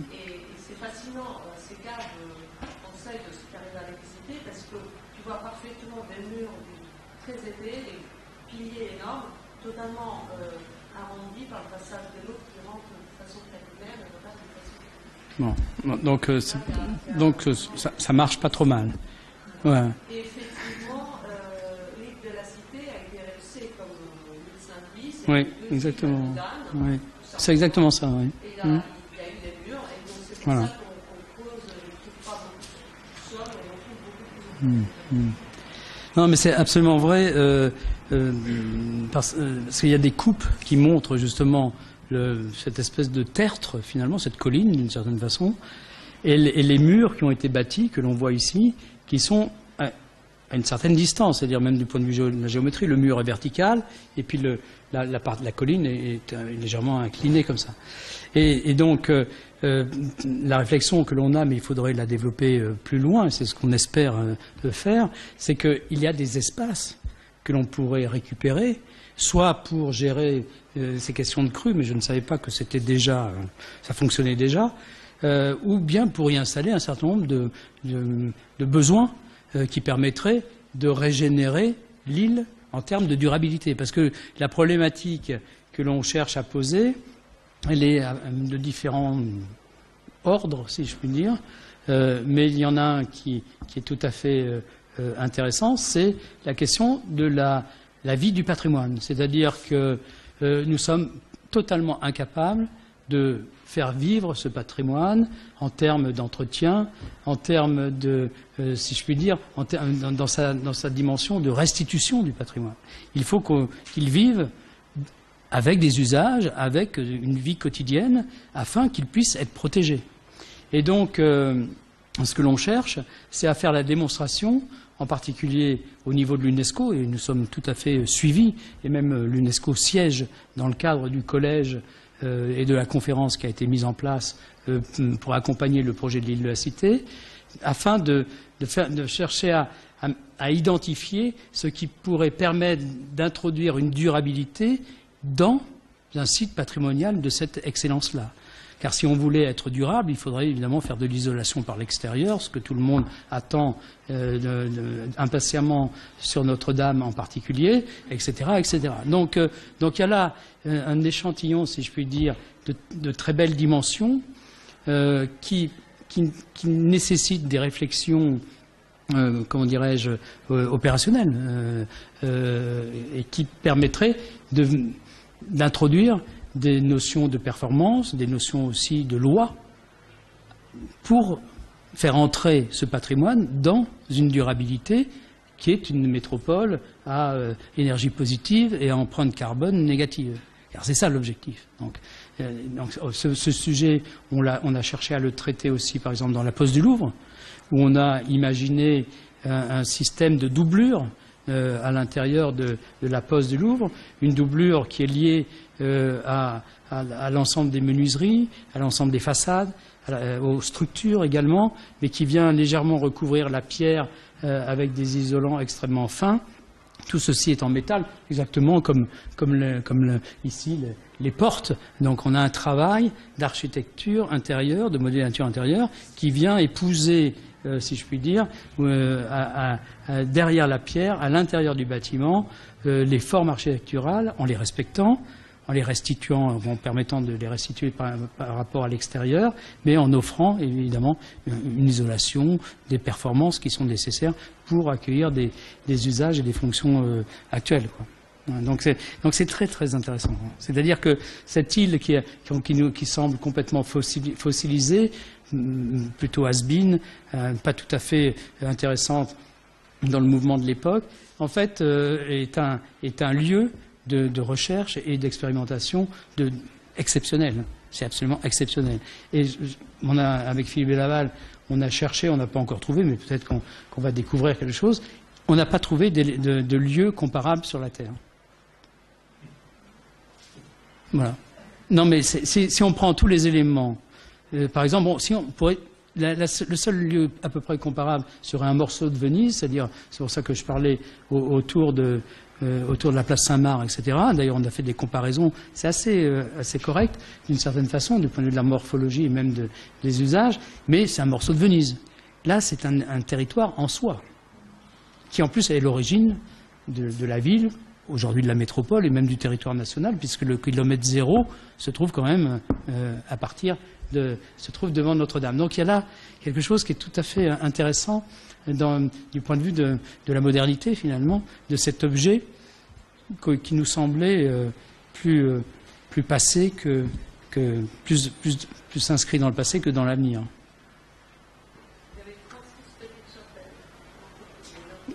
Mmh. Oui, elles sont pas mal.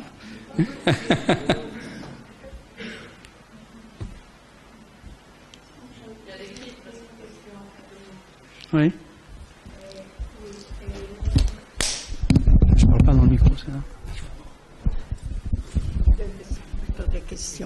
La première, c'est euh, dans la première partie de ton exposé, c'était extrêmement intéressant, je trouvais, euh, de voir ces, ces espaces dans des villes qui sont libérées. Cependant, je pose la question, est-ce que ces espaces libérés et donnent beaucoup d'air dans la ville. Est-ce qu'elles elles sont privatifs ou elles sont, ils sont privatifs ou ils sont euh, accessibles à, la ville, aux, aux- tous les habitants- Bon, ça c'est la première. Deuxièmement, pour, concernant euh, le euh, des, villes, euh, je pense qu'un projet comme ça, qui est extrêmement délicat, parce que ça touche quand même le cœur de la ville, euh, historique, là, est-ce que ça ne serait pas bien d'exposer ce projet, par exemple, sur l'esplanade de la, cathédrale pour obtenir les- euh, les- l'opinion des, habitants de, Paris. Donc, euh, par rapport à la, première question, la- les, espaces qui sont euh, produits, disons, euh, sont, euh, liés en, en fait euh, au commanditaire. C'est-à-dire si le commanditaire est privé, la production de ces espaces, a priori, vont être plutôt des espaces euh, privés. Euh, évidemment, pour les, bâtiments publics, comme on a pu le voir, sont des espaces publics, même si la bibliothèque n'a pas compétence à gérer un espace public. La bibliothèque s'occupe de, sa- bibliothèque, de sa mission de bibliothécaire. Euh, donc il y a là des- évidemment des conventions avec la ville, mais c'est un espace qui est utilisé par tous et c'est un, espace qui devient de plus en plus un espace public. À Berlin, où la pratique urbaine est peut-être un peu plus euh, participative, euh, cet espace, ce verger d'une dizaine d'hectares quand même, avec euh, peu- 500 pommiers, euh, est un lieu que les quartiers et les écoles se sont appro- appropriés, entre autres, pour, le faire vivre et, pour l'utiliser, je dirais de, de façon quotidienne. Évidemment, cet espace est un espace aussi complètement ouvert et complètement public, lié aux manifestations sportives qui se développent dans, les, dans, la, piscine et dans, et dans le vélodrome, et aux concerts aussi qui, qui ont lieu de- depuis plusieurs années avec beaucoup de, succès.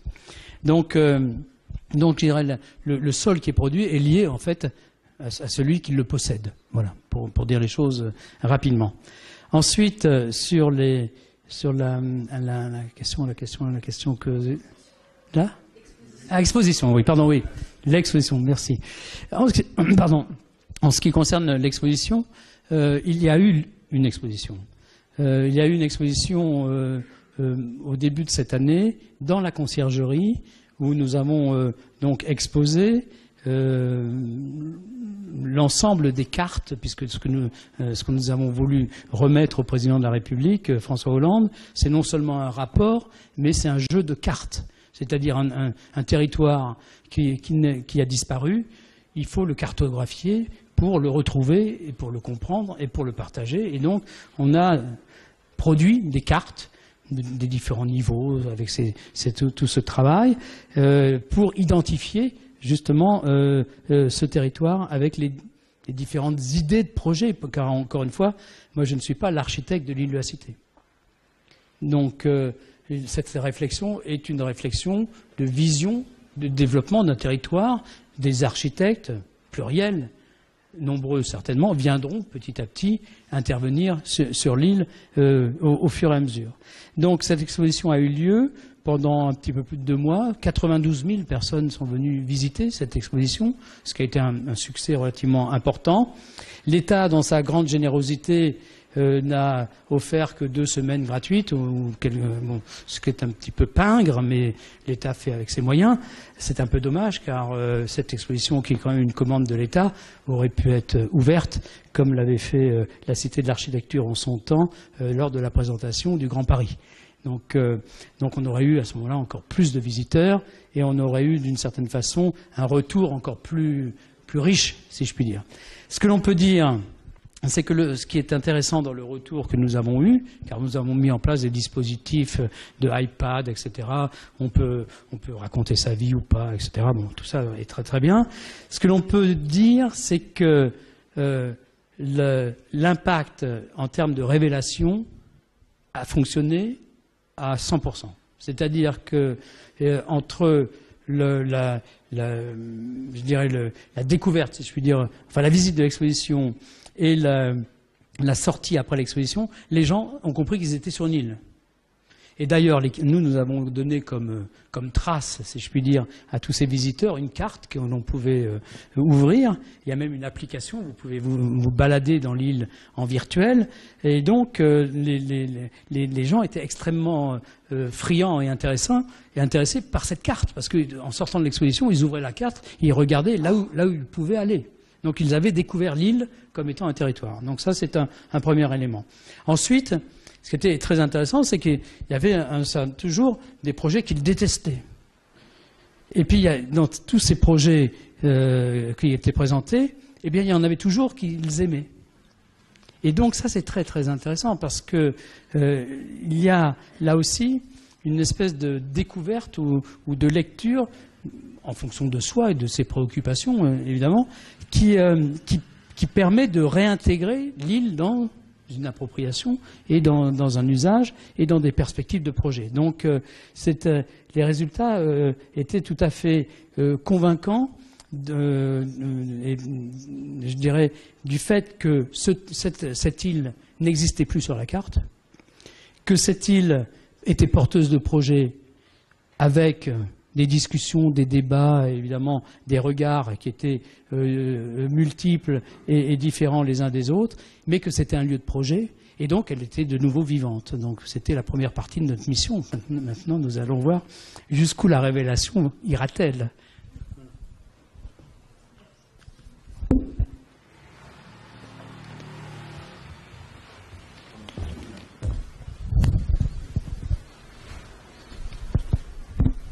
Oui, j'avais une question euh, dans le dans le travail que tu as fait, donc la, conquête du sous-sol.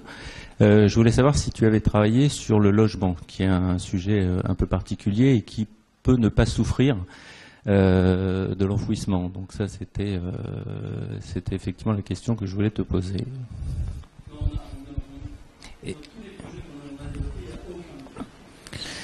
D'accord. Et donc il y a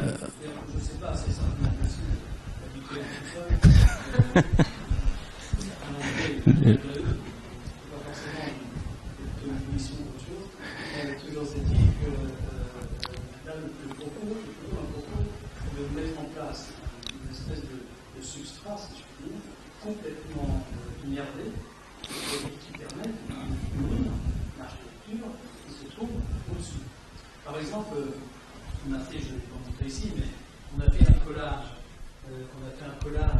de, la vallée université de, de Iwa euh, en lieu et place de l'avenue Foch.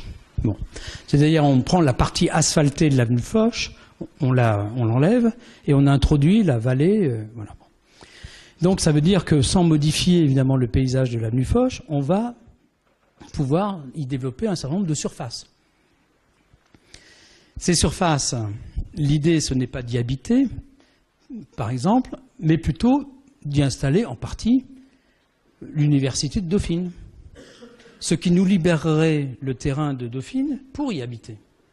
Donc, euh, c'est ce qui est intéressant dans, cette, dans, cette, dans ce dispositif, c'est-à-dire qu'à partir du moment où on considère que le dessous est une valeur ajoutée, ou tout au moins est dans une relation de, de, de synergie, si je puis dire, ou de développement de la superstructure, à ce moment-là, on peut recomposer un certain nombre de, fonctions, euh, plus exactement d'usage, par rapport à ce dessous.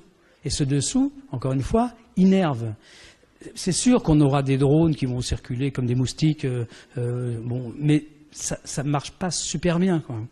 C'est beaucoup plus sûr que d'avoir un système racinaire qui, qui gérerait le dernier kilomètre, qui gérerait toute la, la, tout le stockage des données, qui gérerait l'agriculture urbaine, parce que pour l'instant, on est dans la version sympathique, romantique. Bon, on est un peu, un peu, un peu années 60, 70, quand on est un peu, un peu mouvement hippie, c'est plutôt sympathique. Et on cultive sa terrasse, tout ça. Mais les Japonais cultivent déjà des, salades dans le dessous. Vous avez certainement vu les articles qui sont sortis récemment. C'est quelque chose, c'est-à-dire que la terre est nourricière, mais même dans sa dimension obscure, si je puis dire. Et donc, là, on pourrait aussi avoir des, euh, sans aucun déplacement, la capacité d'avoir de l'alimentation propre à disposition en bas de chez soi. C'est comme moi je rêve euh, toujours, je sais cet exemple qui m'amuse beaucoup, c'est d'appuyer sur le moins 11 de mon ascenseur et d'aller jusqu'à la nappe phréatique pour faire un peu de thalassothérapie. Quoi. Ça, je trouve que c'est ça le, dessous. Donc j'habite euh, j'habite au-dessus du zéro, hein, mais je...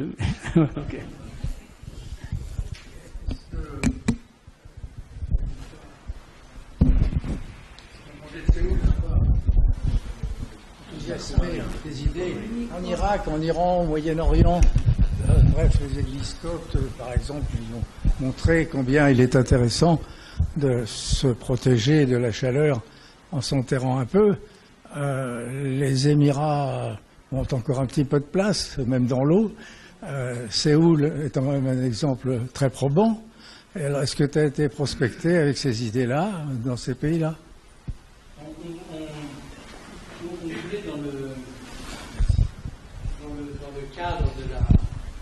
De la, COP 21, euh, on voulait faire, une, proposition d'un, je dirais d'un prototype ou bien d'un espèce de pilote euh, que l'on pourrait installer aussi bien justement dans, des parties extrêmement chaudes comme dans des parties extrêmement froides.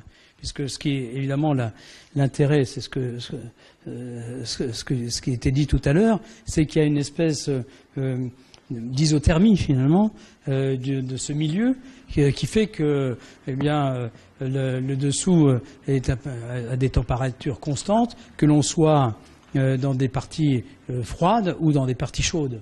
Donc il y a là quelque chose qui est, très intéressant, c'est-à-dire qu'on on pourrait imaginer qu'il y a une dimension générique qui permettrait de gérer l'ensemble de la croûte de la planète, et des dimensions spécifiques qui seraient la, superstructure, qui, elle, serait liée aux sociétés, aux cultures euh, et au développement euh, euh, des, différents pays. Donc, c'est, quelque chose qui est quand même très, très intéressant. Également, ce qui est assez intéressant, c'est la, notion de, de réfléchir à la limitation du développement des métropoles en surface. C'est-à-dire nos, nos métropoles dévorent tout, ce qui tombe, euh, si je puis dire, euh, sous, leur euh, urbanisation absolument sans limite. Avec, cette, stratégie, ça oblige, d'un point de vue politique, économique, d'un point de vue évidemment environnemental, à mener une réflexion d'aménagement concerté, mutualisé, qui permettrait de s'en tenir à un périmètre limité. Il n'est pas improbable que ce type de réflexion entre dans le domaine politique et qu'il y ait des discussions sur le sujet.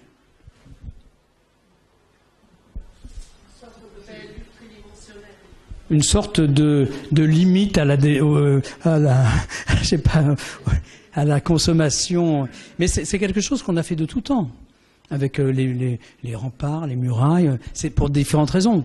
Mais, le, fait, ça ne veut pas dire que c'est éternel. La preuve, les, boulevards euh, se succèdent les uns aux autres. Donc, euh, donc là, la structure urbaine grandit. Mais, le fait euh, qu'il n'y ait pas un territoire où l'ensemble des, des, populations, de façon évidemment démocratique, décident que c'est leur territoire et que c'est sur ce territoire qu'elles vont développer leur structure urbaine, c'est quelque chose qui est qui mérite réflexion. Voilà.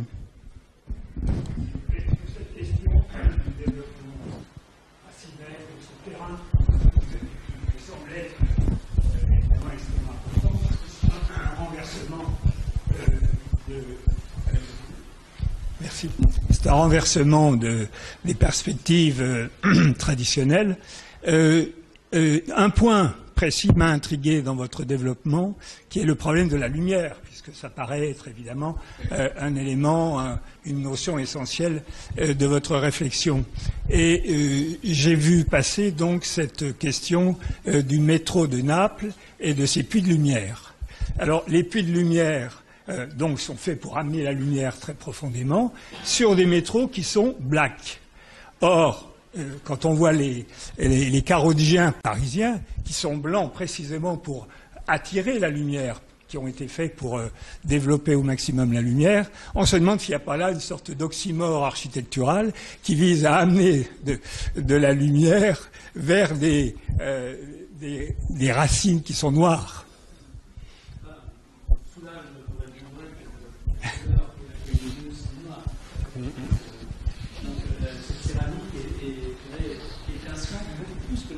Blanche, euh, qui est finalement euh, assez plate quand on, la, regarde, parce que là, il y a cet effet de facette avec le noir. Bon, ceci dit, c'est un travail esthétique aussi.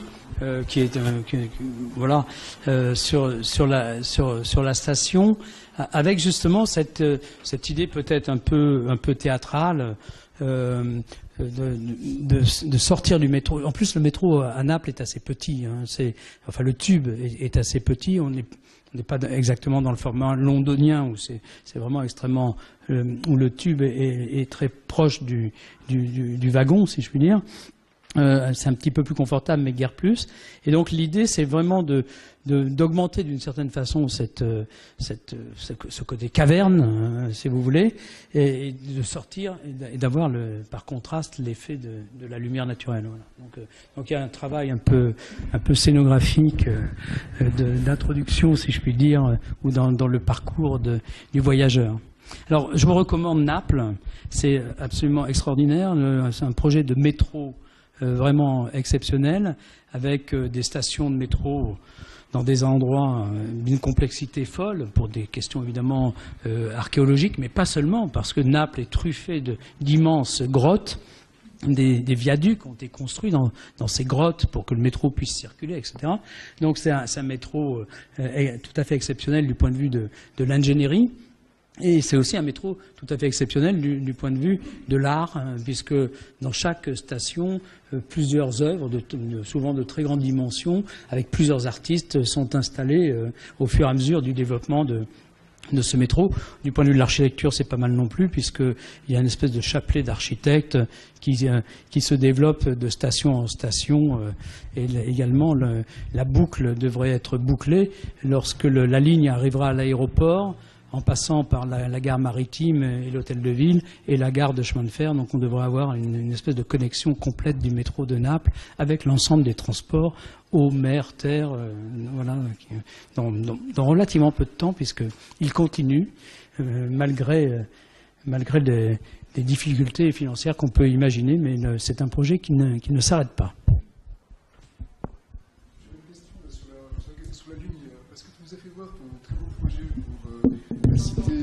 De, de Saint-Jacques-de-Compostelle. Et on a l'impression là que ton bâtiment il est complètement inversé, c'est-à-dire que il se fonde sur le ciel et il se, développe en sous-sol.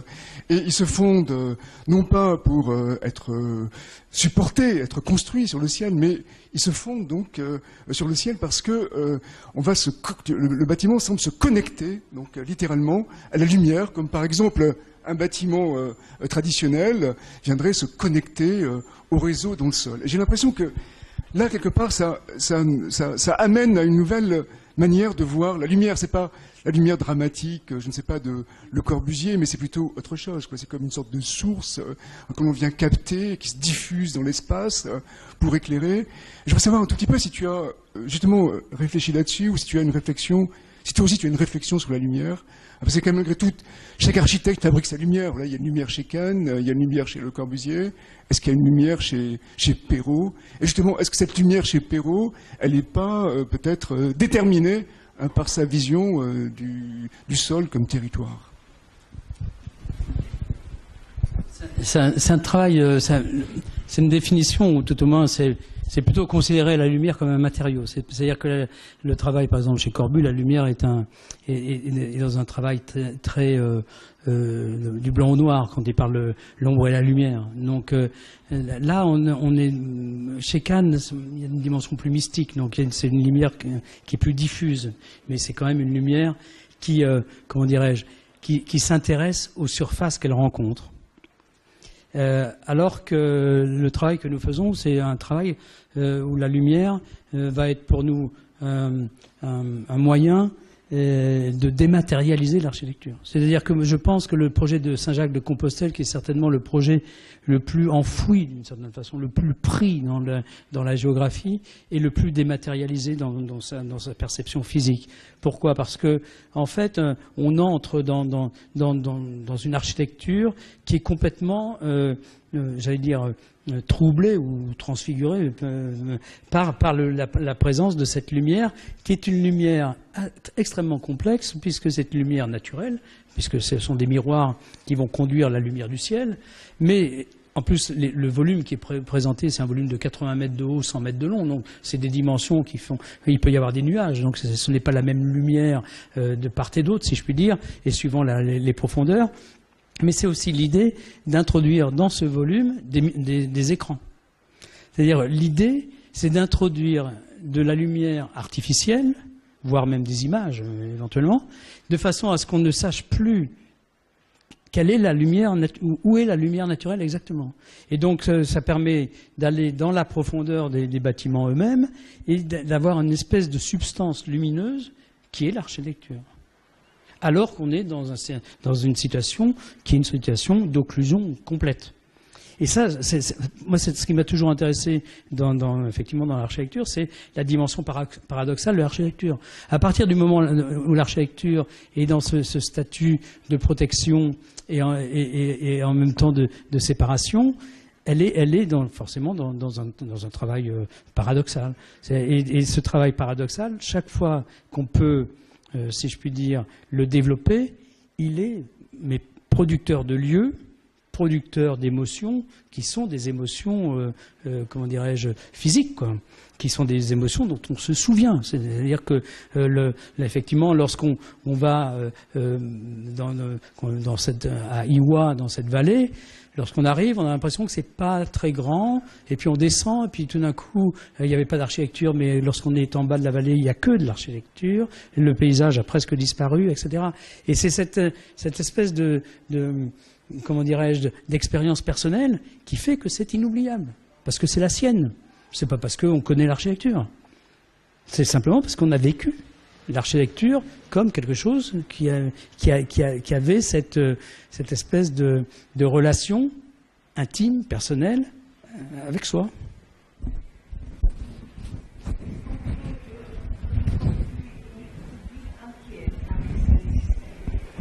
Ah ben on va le faire, oui. Oui, même on va aller peut-être au-delà, je pense, j'espère. Non, mais euh, là, ce sont des balbutiements, mais il a quand même euh, un certain nombre de réflexions qui se développent, entre autres euh, en Californie, avec effectivement des modes de transport euh, qui, qui permettent de gérer différents. Ah, au-dessus Ah, si, il y aura nous. Nous, nous resterons dessus. Voilà. oui.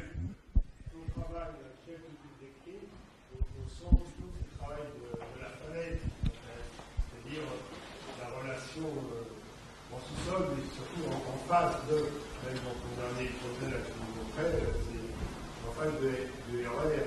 Alors ça, c'est lié aussi à ton expérience en sous-sol, face à la falaise euh, en Bretagne, je sais pas. Alors, parce que je peux dire que tu as testé.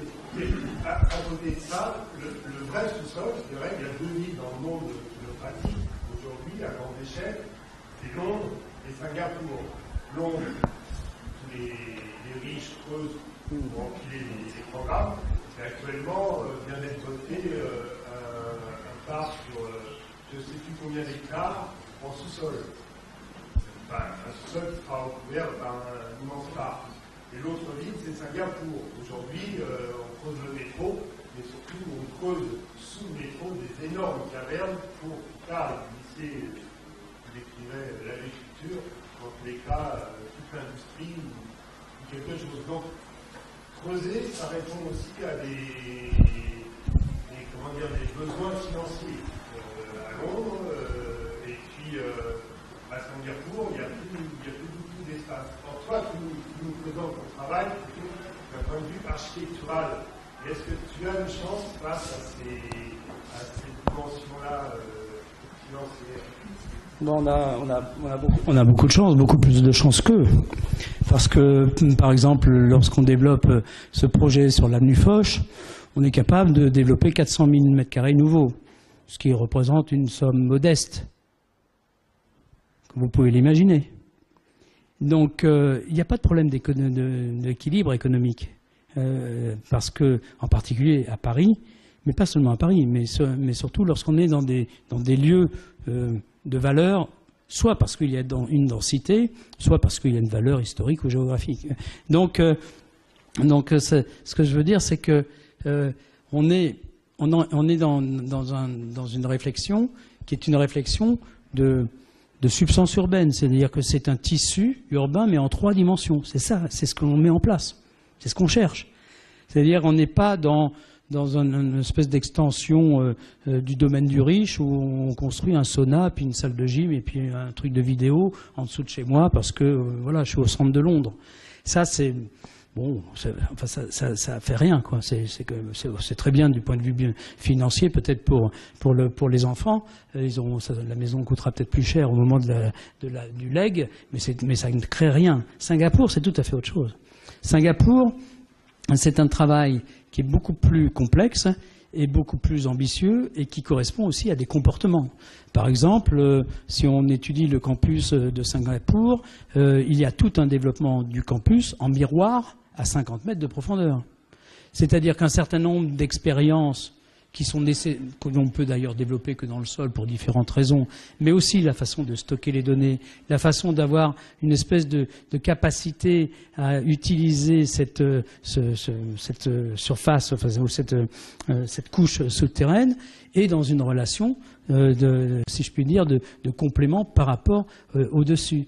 Donc c'est ce qu'on cherche à, mettre en place, enfin, ou tout au moins à identifier dans ce que nous avons. Parce que là où, c'est difficile à battre par rapport à la situation européenne et surtout par rapport à Paris, c'est qu'en fait, il y a tout un réseau.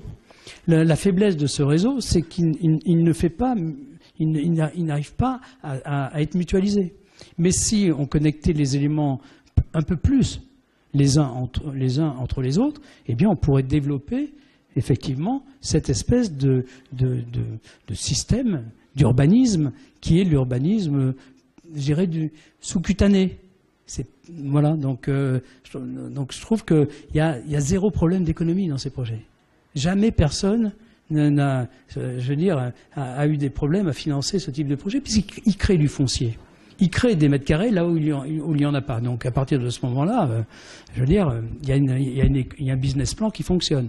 La question, c'est de savoir quelle est la valeur qu'on attribue aux choses, et, donc euh, après, c'est des questions plus politiques, je dirais, euh, qui sur lesquelles il est, intéressant de, de réfléchir. Je pense que la, la force de ces sous-sols, notamment de c'est un moyen de donner la notion de la chaussée. Ouais. Le terrain s'efface et il y a un moment donné le, le paradoxe où on ne sait pas si on est encore euh, avec chaussée à Mm. la rue ou si on est au sous-sol. Mm. Et en réalité, en bas, des de CO, on a l'impression à la chaussée. Donc c'est forcément des mètres carrés qui ont une énorme valeur. Et euh,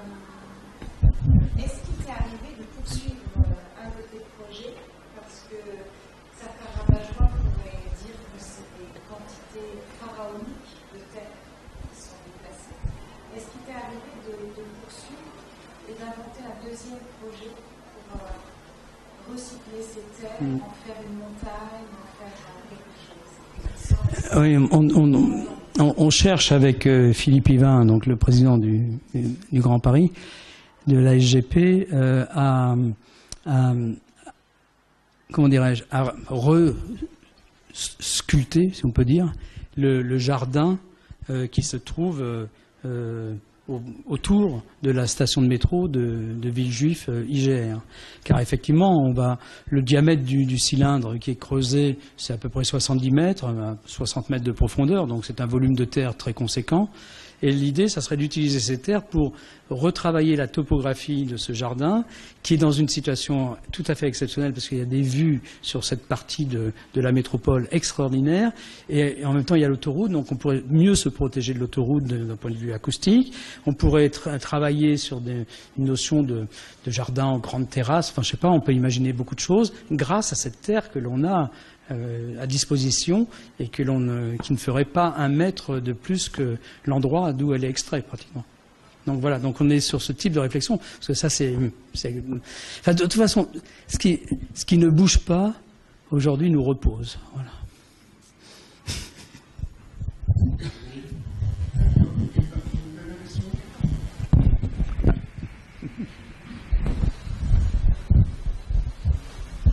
Je voudrais euh, te poser une question. Tu connais les sous-sols de Montréal? Qu'est-ce que tu en penses? Je pense que c'est un système complètement. Euh, un système monofonctionnel. C'est-à-dire que c'est un, système qui est, dont la réponse est une réponse absolument nécessaire, parce que de toute façon, ils ne peuvent pas fonctionner différemment, mais ce n'est pas un travail urbain. C'est simplement la duplication de, shopping malls en, dessous de, la ville pour aller d'un point à un autre. Par exemple, si on prend euh, d'autres réseaux souterrains qui sont euh, peut-être moins connus, mais qui sont à mon avis beaucoup plus importants, dans les villes asiatiques, euh, on peut, si on parle par exemple de Osaka, à Osaka, il y a un réseau souterrain de galeries très très important qui relie la gare, par exemple, aux grands bâtiments qui se trouvent autour, mais sur plusieurs kilomètres. mais, c'est l'Asie. Donc la vie en Asie, veux dire, ces lieux sont complètement investis euh, par, euh, par cette vie au quotidien. C'est-à-dire que ces galeries ne fonctionnent pas en, hiver parce qu'il fait froid, euh, elles fonctionnent toute l'année. Et donc, euh, il y a une espèce de, comportement, et ça c'est des questions psychologiques aussi, euh, et de, culture euh, et d'usage de, la ville, qui sont beaucoup plus, je dirais, envahissantes, envahissantes dans, dans, le bon sens du terme, dans les villes asiatiques. Et on travaille actuellement sur la requalification d'une galerie souterraine à Séoul qui est dans la partie centrale, qui fait 3 km de long, qui relie euh, l'hôtel de ville à l'ensemble que, que, Zaha a réalisé. Et c'est une galerie euh, qui se trouve au-dessus d'une ligne de métro très importante, etc.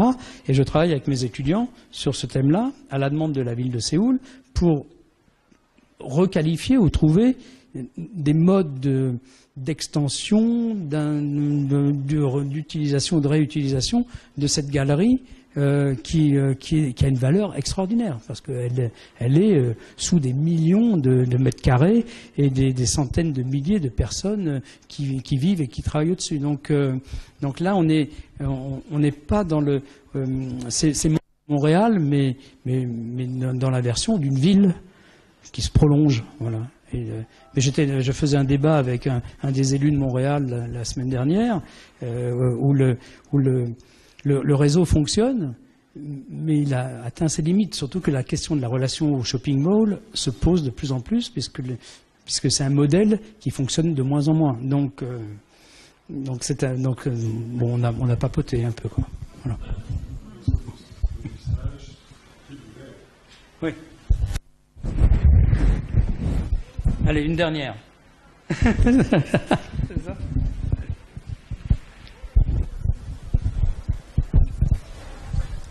Euh, bonjour, tu parles de paysage, grand scape.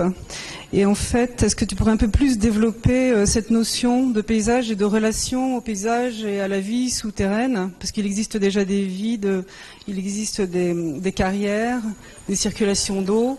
Et puis, euh, parler un peu plus de, des sorties d'eau et des entrées d'air. Parce qu'en fait, c'est ça un peu la, la différence avec euh, être au-dessus du sol, à cause de la gravité principalement, et puis euh, phénomène thermique. Est-ce que tu peux parler un peu plus du rapport au paysage souterrain? Et est-ce qu'on mangera autre chose que des champignons de Paris? Alors, pour, pour, bien resituer, le, si je puis dire, l'intervention, euh, tout existe. C'est-à-dire que, pour répondre à ta question ou à la série de questions, euh, tout existe. Quoi. Il y a des exemples partout, voilà. différents, mais, mais tout existe. Depuis la nuit des temps. C'est-à-dire que moi, je prétends pas que, que ce que, ce que l'on présente est une réflexion euh, innovante. Euh, c'est dans le sens où euh, on ne cherche pas à, à développer une ville souterraine, on ne cherche pas à développer euh, euh, une, espèce de, comment dirais-je, de projet souterrain. Ce, qui nous intéresse, c'est ce qui sépare les choses. C'est ça qui nous intéresse. C'est-à-dire que quelle est la position contemporaine de l'architecture, mais enfin d'une façon générale de la science? C'est-à-dire que euh, aujourd'hui, la somme des parties n'égale pas le tout. Donc, donc là, il y a une dimension qui est au-delà des éléments eux-mêmes, qui permet de constituer un tout. Et nous, c'est ce qu'on dit. On a des éléments. Ils, peuvent être, euh, qu'ils viennent de la nuit des temps ou qu'ils soient euh, euh, d'aujourd'hui, mais ils ne constituent pas un ensemble. Et donc c'est cette dimension systémique qui nous intéresse. C'est ce qu'on ce qu'on veut, ce qu'on veut montrer. On veut montrer que en mutualisant, en partageant, en assemblant, en reliant, etc., on va créer en fait un ensemble vivant qui va permettre de nourrir soit une situation existante, soit d'en produire une nouvelle. Voilà. C'est ça l'architecture contemporaine. C'est plus que les parties.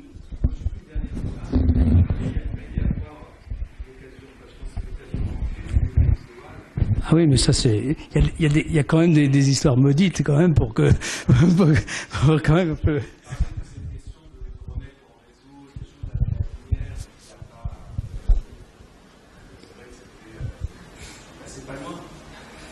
Oui, mais il y a des. euh, Bon, euh. Ça dépend du commanditaire. Euh, par exemple, lorsqu'on on fait ce travail sur la, la- gare de Villejuif, euh, qui est, euh, comme je le disais tout à l'heure, une gare euh, de plein air à 50 mètres de profondeur, euh, pour euh, faire la démonstration euh, que l'on peut euh, que, euh, cette gare peut être ventilée naturellement, c'est-à-dire qu'on voilà, elle est comme ça. C'est 136 pages d'explication.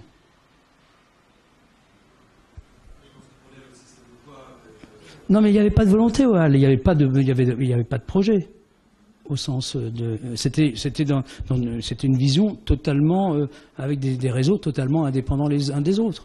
Alors que là, le travail qui est fait, et c'est pour ça qu'on peut, qu'on peut justement argumenter et développer une autre jurisprudence par rapport à ces espaces souterrains, c'est parce qu'il y a mutualisation. S'il n'y a pas de mutualisation, on est, dans un système for- forcément mécanisé. Alors que là, on peut passer d'un système à l'autre, d'un niveau à l'autre, on peut sortir à différents, etc. Donc, euh, donc c'est, pour ça que le, le fait de partager, ça augmente les capacités, les possibilités d'un projet. Enfin, c'est pas nouveau, quoi. Je veux dire, c'est pas un truc nouveau. Euh, Mais par contre, il y, a une, espèce de résistance aussi bien euh, psychologique. C'est pour ça que je commençais avec l'enfer de Dante. C'est parce qu'également il y a une relation avec le sol. C'est des projets qui sont immontrables. On ne peut pas les expliquer. Par contre, lorsqu'on les vit, il n'y a pas du, effectivement, le, lorsqu'on, lorsque tu disais sur Iwa, c'est absolument vrai. Il n'y a pas eu une minute de rejet de, ce- de cette situation. Jamais. Et pas une minute. En, une, journée, le- l'ensemble du bâtiment était investi. Comme un bâtiment euh, de plein air, quoi, comme un pavillon de, campus. Donc, il y a une dimension psychologique qui, qui- qui est, très importante à, dédramatiser, à repositionner, et pour ça, il faut des expériences réelles. Au-delà de.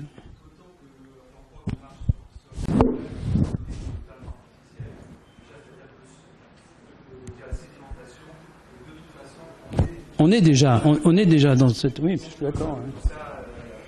Non, non, mais c'est pas. Bon, maintenant. Très bien, merci.